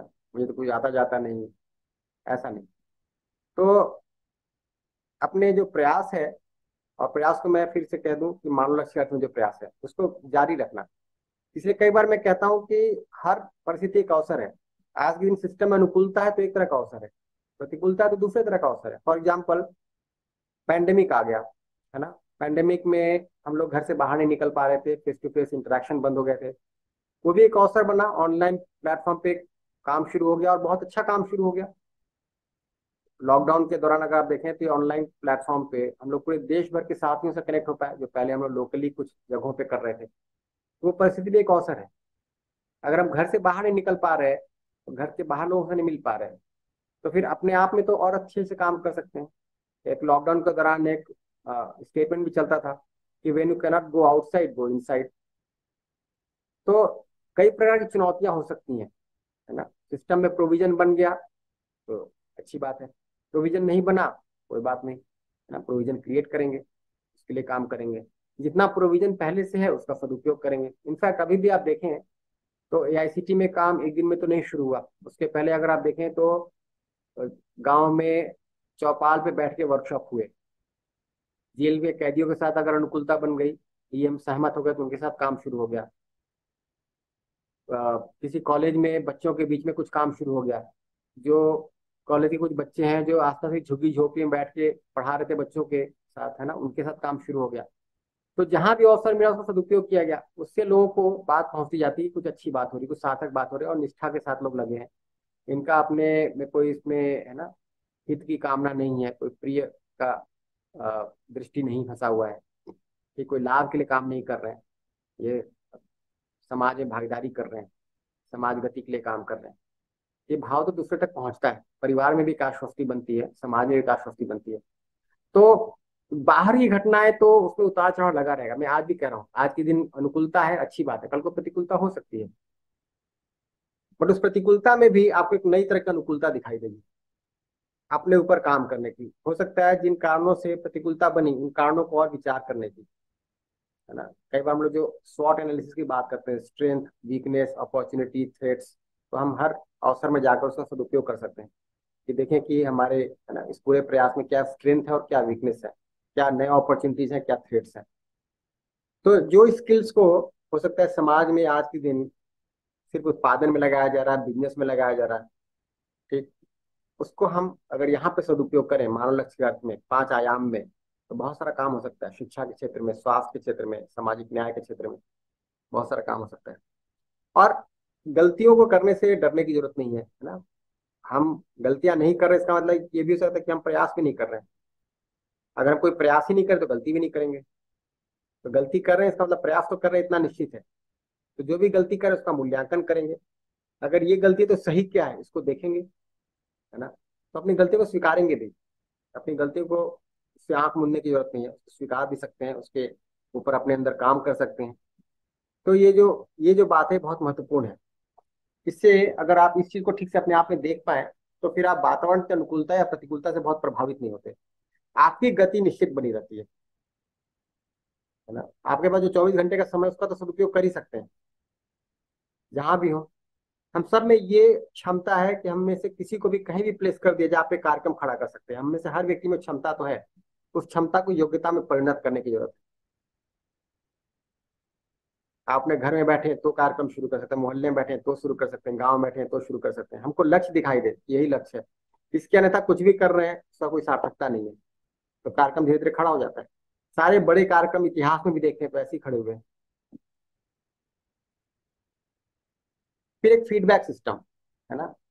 तो जो चीज़ें वर्क कर रही हैं, उसको ज़्यादा करना और जो वर्क नहीं कर उसे कम करना। हम मूल्यांकन करते रहेंगे कि हमने जो इनिशिएटिव्स लिए, जो काम कर रहा है, उस पर ज़्यादा ध्यान देंगे, जो नहीं काम कर रहा है, ठीक है, उस पर कम ध्यान देंगे, है ना? उसको परिणत करेंगे। हमने जो मेजर्स सोचे, अगर वो ठीक काम कर रहे हैं, सफल परिणाम आ रहे हैं तो उस पर ज़्यादा ध्यान देंगे। नहीं आ रहे हैं तो उसको पुनर्मूल्यांकन करेंगे, उसके बेहतर हम सिस्टम्स निकालेंगे, बेहतर इनिशिएटिव निकालेंगे। और एक फीडबैक भी लेते रहना अपने आप में, साथियों से, अपना मूल्यांकन करना हम टीम के रूप में काम कर रहे हैं तो बैठ के हम साथ में ज़रूर अपने मूल्यांकन को शेयर करें और लोगों से अपना मूल्यांकन सुने। अपने मूल्यांकन को सुनने से घबराने की ज़रूरत नहीं है। ऐसा नहीं कि दूसरा हमारी कमियाँ उजागर कर रहा है, बल्कि दूसरे के कहने से हमें अपने ऊपर दिखाई था कि और क्या काम करना है। तो एक फीडबैक बहुत ज़रूरी है है ना? अगर हम फीडबैक नहीं देते तो फिर हमें हमारी योग्यता को और कहाँ विकसित करना है, इसका पता नहीं चलता। है जैसे अगर आप इलेक्ट्रॉनिक्स में पढ़ाते हैं, मैकेनिकल में पढ़ाते हैं कंट्रोल सिस्टम पढ़ाते हैं ना? तो फीडबैक कंट्रोल सिस्टम कहते हैं। कि जो इनपुट जा रहा है, जो आउटपुट जा रहा है, अगर आउटपुट का फीडबैक इनपुट को नहीं मिले तो इनपुट में सुधार कैसे होगा? तो हमें फीडबैक लेते रहने की ज़रूरत है। ये सात बिंदु मैंने आपसे रखे, और इनको अगर हम ठीक से इंटरनलाइज करें, जांचे, परखें तो हम पाएँगे कि हमारे भाव विचार में परिमार्जन शुरू हो जाता है। हमारे स्वास्थ्य में बढ़ोतरी दिखाई देने लगती है। परिवार में, आपस में हारमोनी हो सकती है। अगर हमारे अंदर ज़िम्मेदारी का भाव हो, हमारे अंदर इनिशिएटिव लेने की प्रक्रिया हो। तो थोड़ा सा सतर्कता हेतु मैं कुछ बातें कह दूँ यहाँ पर, है ना? ताकि इसका हम सदुपयोग कर पाए। तो ये जो उल्लिखित गुण है, ये भ्रामक हो सकते हैं, यदि सही समझ और सही भाव उपयोग न किया जाए। जैसे कि हो सकता है कि हम यही सारे टैक्स सुविधा संग्रह के लगा रहे हैं, भोग के लिए लगा रहे हैं, उन्माद के लिए लगा रहे हैं। इसका दुरुपयोग हो सकता है फिर इस केस में। तो अभी जो मैं बात कह रहा हूँ प्रस्ताव के रूप में, ये तो मैं केंद्र में सही समझ और सही भाव को रख के कह रहा हूँ। परंतु ये स्किल्स हो सकते हैं जो इसका दुरुपयोग भी हो जाए। तो ये कुछ सुझाव हैं, इसका सदुपयोग भी कर सकते हैं, दुरुपयोग भी कर सकते हैं। परंतु यदि हमको दिखता है कि मेरा लक्ष्य स्वयं में तो अनुभव तक पहुँचना है, समाज में अखंड समाज तक पहुँचना है, व्यवस्था में सार्वभौम व्यवस्था तक पहुँचना है, हम इसका सदुपयोग कर सकते हैं। और ये बात हमको ध्यान में बना रहे हैं कि हमारी मूल चाहना तो सुख समृद्धि की निरंतरता है, कोई एक्साइटमेंट या एकोमुलेशन नहीं। तो हैप्पीनेस और एक्साइटमेंट दोनों अलग चीज़ें हैं। प्रॉस्पेरिटी और एकोमुलेशन दोनों अलग चीज़ें हैं। ये हमको अगर दिखाई दे, है ना, और बेसिक एस्पिरेशन तो हमारा सुख समृद्धि का निरंतरता है, तभी हम इसका ठीक ठीक सदुपयोग कर सकते हैं। हम बेहतर और तरीके निकाल सकते हैं। जो सात बिंदु मैंने कहे आपसे, है ना, और उसे बेहतर बिंदु भी हम ढूंढ के निकाल सकते हैं अपने आप में, अपने एक्सप्लोरेशन से। दूसरे शब्दों में कहें तो लिखित गुण जो है वो बाहर से कोई खुशी प्राप्त करने के लिए नहीं है, बल्कि अंदर सुख सुनिश्चित करने के लिए और फिर बाहर उसको फैलाने के लिए, बाहर बांटने के लिए। तो हम ये जो अपने आप में काम करेंगे जो गुणों को विकसित करेंगे, ऐसा नहीं कि बाहर से कोई अनुकूल भाव मिल जाए, अनुकूल संवेदना मिल जाए इसके लिए, बल्कि स्वयं में सही समझ, सही भाव सुनिश्चित हो और फिर हम शेयर करें एज अ टीम समाज के विकास के लिए, है ना? इस रूप में बात कही जा रही है। ये कुछ वर्ड ऑफ़ कॉशन है, ताकि इनका हम ठीक से सदुपयोग कर पाए, क्योंकि तो ये तो कई बातें डूज एंड डोंट्स के रूप में है और उसका दुरुपयोग भी हो सकता है। इसलिए अगर हम लक्ष्य को ध्यान में रखेंगे, इसलिए मैंने सबसे शुरू में मानव लक्ष्य की बात की, कि अगर हम लक्ष्य को ध्यान में रखेंगे तो इनका सदुपयोग हो सकता है। तो अगर हम इनको ठीक से लेके चले एज ए टीम हम लोग काम कर रहे हैं, है ना? आज दिन देखें तो करीब 500 लोगों की टीम काम कर रही है। ओवरऑल अगर देखें, या थोड़ी और बड़ी संख्या भी हो सकती है 600 लोग हो सकते हैं। इतनी बड़ी टीम काम कर रही है। और ये तो वो है जो जिनसे इंटरेक्शन हो पा रहा है। नहीं तो लोकल लेवल बहुत सारे लोग काम कर रहे हैं मूल्य शिक्षा के लिए वैल्यू बेस्ड एजुकेशन के लिए यूनिवर्सल ह्यूमन वैल्यूज़ को ठीक से स्थापित करने के लिए। और उसके क्रम में फिर बाकी आयाम पे भी हम काम कर सकते हैं। तो आउटकम ये है कि परिवार से लेकर विश्व परिवार तक व्यवस्था हो सकती है। समाज अखंड हो सकता है, मानवीय परंपरा सुनिश्चित हो सकती है। तो हम दस लोगों की टीम बना सकते हैं जहाँ भी है। है ना? ऐसे दस दस लोगों की दस टीम हो जाती है क्लस्टर हो जाता है। ये परिवार के स्तर पर भी है, टीम के लिए भी है। हम जहाँ भी है कॉलेज में दस लोगों की टीम हम बना पा रहे हैं कि नहीं? मेरे साथ लोग जुड़ के काम कर पा रहे हैं कि नहीं? एक मूल्यांकन की बात है। हम बहुत सारे काम तो कर रहे हैं बट किसी को अपने साथ जोड़ नहीं पा रहे हैं। तो कहीं ना कहीं हमारे भाव में चूक है, व्यवहार में चूक है। कहीं ना कहीं हम अपने को प्रोमिनेंस दे रहे हैं, है ना? लक्ष्य को नहीं, कार्यक्रम को नहीं। इस विधि से हम चले तो हम मानव लक्ष्य को पूरा कर सकते हैं। तो पूरी बात को समाप्त किया जाए तो स्वयं के विकास से, समूह का विकास होता है जिससे सामाजिक विकास होता है।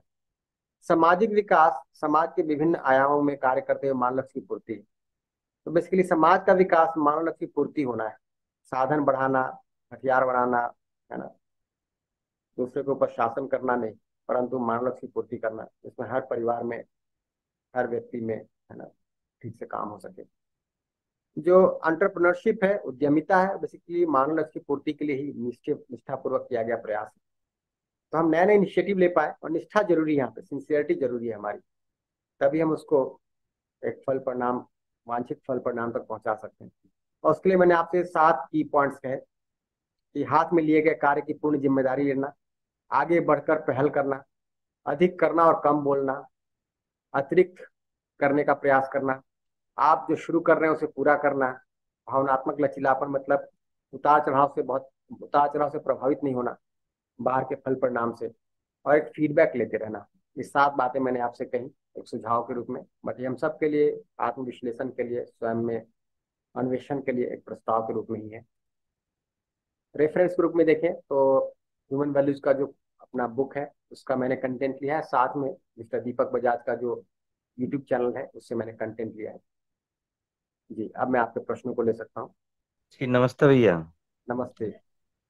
आ, मैं पूछना चाह रहा था अभी आप चर्चा कर रहे थे कि हम अपनी चर्चा को कहीं भी जैसे गली मोहल्ले में या दोस्तों के साथ में बात कर करते हुए हम शुरुआत कर सकते हैं हम। जी। तो तो हम शुरू शुरू कहाँ से करें? मतलब जैसे थोड़ा सा समय अपने को मिला मान लो कि दस बीस मिनट का समय मिला हमको। तो दस बीस मिनट में हम क्या चर्चा हमको करनी चाहिए? लेकिन इसके एक उपयोगी बात जो हर बार दिखाई देती है कि अगर हम समझ संबंध और सुविधा को प्लेस करें ये बात तीन मिनट में भी हो सकती है तीस मिनट में भी हो सकती है तीन सौ मिनट भी लगाए जा सकते हैं इस पे। कि नहीं? जी। तो व्यक्ति को भाई आपको सुविधा की ज़रूरत है कि नहीं? तो है। बट सुविधा से ज़्यादा महत्वपूर्ण संबंध है कि नहीं? परिवार में क्या दिख रहा है? जो समस्याएँ हैं वो हम्म। सुविधा के अभाव में या संबंध के अभाव में है? तो अगला व्यक्ति कहीं हम्म। देता है कि संबंध के अभाव में। और संबंध की समस्या कैसे दूर होंगी? तो समझ से दूर होंगी। तो जी। पहले तो मूल चाहना पे बात कर लें फिर समझ संबंध सुविधा को प्लेस कर दें। तो जितना भी समय हो उसके अनुसार पूरी बात को फैला सकते हैं। जी। जी। जी बिल्कुल। जी बढ़िया भैया। आ, नमस्ते भैया जी। आपने जो अभी उद्यमिता के बारे में जो विषय रखे तो इसमें आ, मैं ये सोचता हूँ कि हमारे भारतीय संस्कृति में भी आ, इस उद्यमिता को काफ़ी पहले से हमारे समाज में इसको दिखाई पड़ता है। कई सारे लोगों ने ऐसे कई सारे इनिशिएटिव ले लिए कि जहाँ पे उन्होंने समाज के लिए कुछ योगदान देने के लिए अपना एक रास्ता तय कर लिया और उसके ज़रिए उन्होंने कई सारे परिवर्तन भी ऐसे उन्होंने हमारे समाज में उदाहरण के तौर पे हमारे सामने रखे हैं। तो मुझे लगता है कि उद्यमिता ये तो हमारे भारतीय संस्कृति के अभिन्न अभिन्न अंग हो सकता है कि लेकिन उसको अभी इस मॉडर्न जमाने में जो एमबीए वाले जो कोर्सेस है और कई ऐसी फॉरेन यूनिवर्सिटीज है उन्होंने इसे एंटरप्रेन्योरशिप को थोड़ा सा अलग एंगल से अभी हमारे सामने प्र, आ, लोगों के सामने प्रस्तुत किया है ऐसा मुझे लगता है। जी जी। तो ऐसा नहीं कि उद्यमिता हमारे यहाँ नहीं था। इनफैक्ट हर समाज में उद्यमिता का भाव रहता ही है। तो यस हमारे यहाँ भी रहा है पश्चिम में भी रहा है। और हमारे यहाँ तो बहुत गहरे में लोगों ने देखने का प्रयास किया चीज़ों को। तो तो है ही। जी। जी भैया फिर से नमस्ते। आ, मेरी जिज्ञासा ये है कि हम लोग जो काम कर रहे हैं संस्थान में बच्चों को पढ़ाने का या उसको ज्ञान जानकारी और ज्ञान बढ़ाने का तो क्या ये उद्यमता का भी एक तरीका है क्या? क्यों नहीं? तो हम आगे बढ़ के पहल कर रहे हैं। बच्चों के अंदर सही समझ सही भाव सुनिश्चित करने के लिए पहल कर रहे हैं। और उसको हमको निष्ठापूर्वक करना है। हमारा रोल सिंपली क्लास में साठ मिनट लेक्चर देना नहीं है पचास मिनट लेक्चर देना नहीं है। जी। हमें देखना है कि बच्चों के अंदर परिमार्जन हो रहा है कि नहीं। अगर पचास मिनट में काम पूरा नहीं हुआ उनको अलग से बुला के बात करेंगे, उनके साथ बैठ के चर्चा करेंगे, उनको सुनेंगे। अगर हम में से हर व्यक्ति ये निर्णय ले कि एक बैच में मुझे कंसिस्टेंटली फॉलो अप करके, जैसे मेंटरशिप का जो पूरा आइडिया है, इसी बात के लिए है कि हर एक फैकल्टी बीस बच्चों के अंदर परिमार्जन सुनिश्चित करे। है ना? तो बिल्कुल, वो भी उद्यमिता का उदाहरण हम सिर्फ़ कोर्स पढ़ाने तक या एसआईपी तक अपने आप को लिमिटेड नहीं रखेंगे। बच्चों की मेंटरिंग करेंगे ताकि बच्चा आगे भी हमसे कनेक्टेड रहे और इन बीस बच्चों के लाइफ को तो हम शेपअप कर पाए, सही अर्थ में। जी भैया तो ये जो मेंटरिंग का है ना तो इसके लिए मैं अपने पहल से, खुद पहल करके प्रिंसिपल को इसका प्रपोजल दिया तो वो बोले कि ठीक है, आप मेंटर्स बना दीजिए सबको। तो मैं पंद्रह पर किया। तो आप पंद्रह पर करने के बाद वो क्या कर रहे हैं कि आप ही सब कुछ उसका देखिए। वो कुछ भी देखने के लिए तैयार नहीं है। वही तो देखिए मेंटरिंग के लिए हमने ज़िम्मेदारी तो दे दी परंतु उनमें जो विकास होना है उसके लिए काम तो करना ज़रूरी है ना? उन्होंने वर्कशॉप किया कि नहीं? है ना? रेगुलरली डिस्कशन कर पा रहे हैं कि नहीं? अपने आप में जाँच परख कर पा रहे हैं कि नहीं? तो हमें देखना ही पड़ेगा। जी जी जी जी। भैया स्पष्ट हुआ। नमस्ते।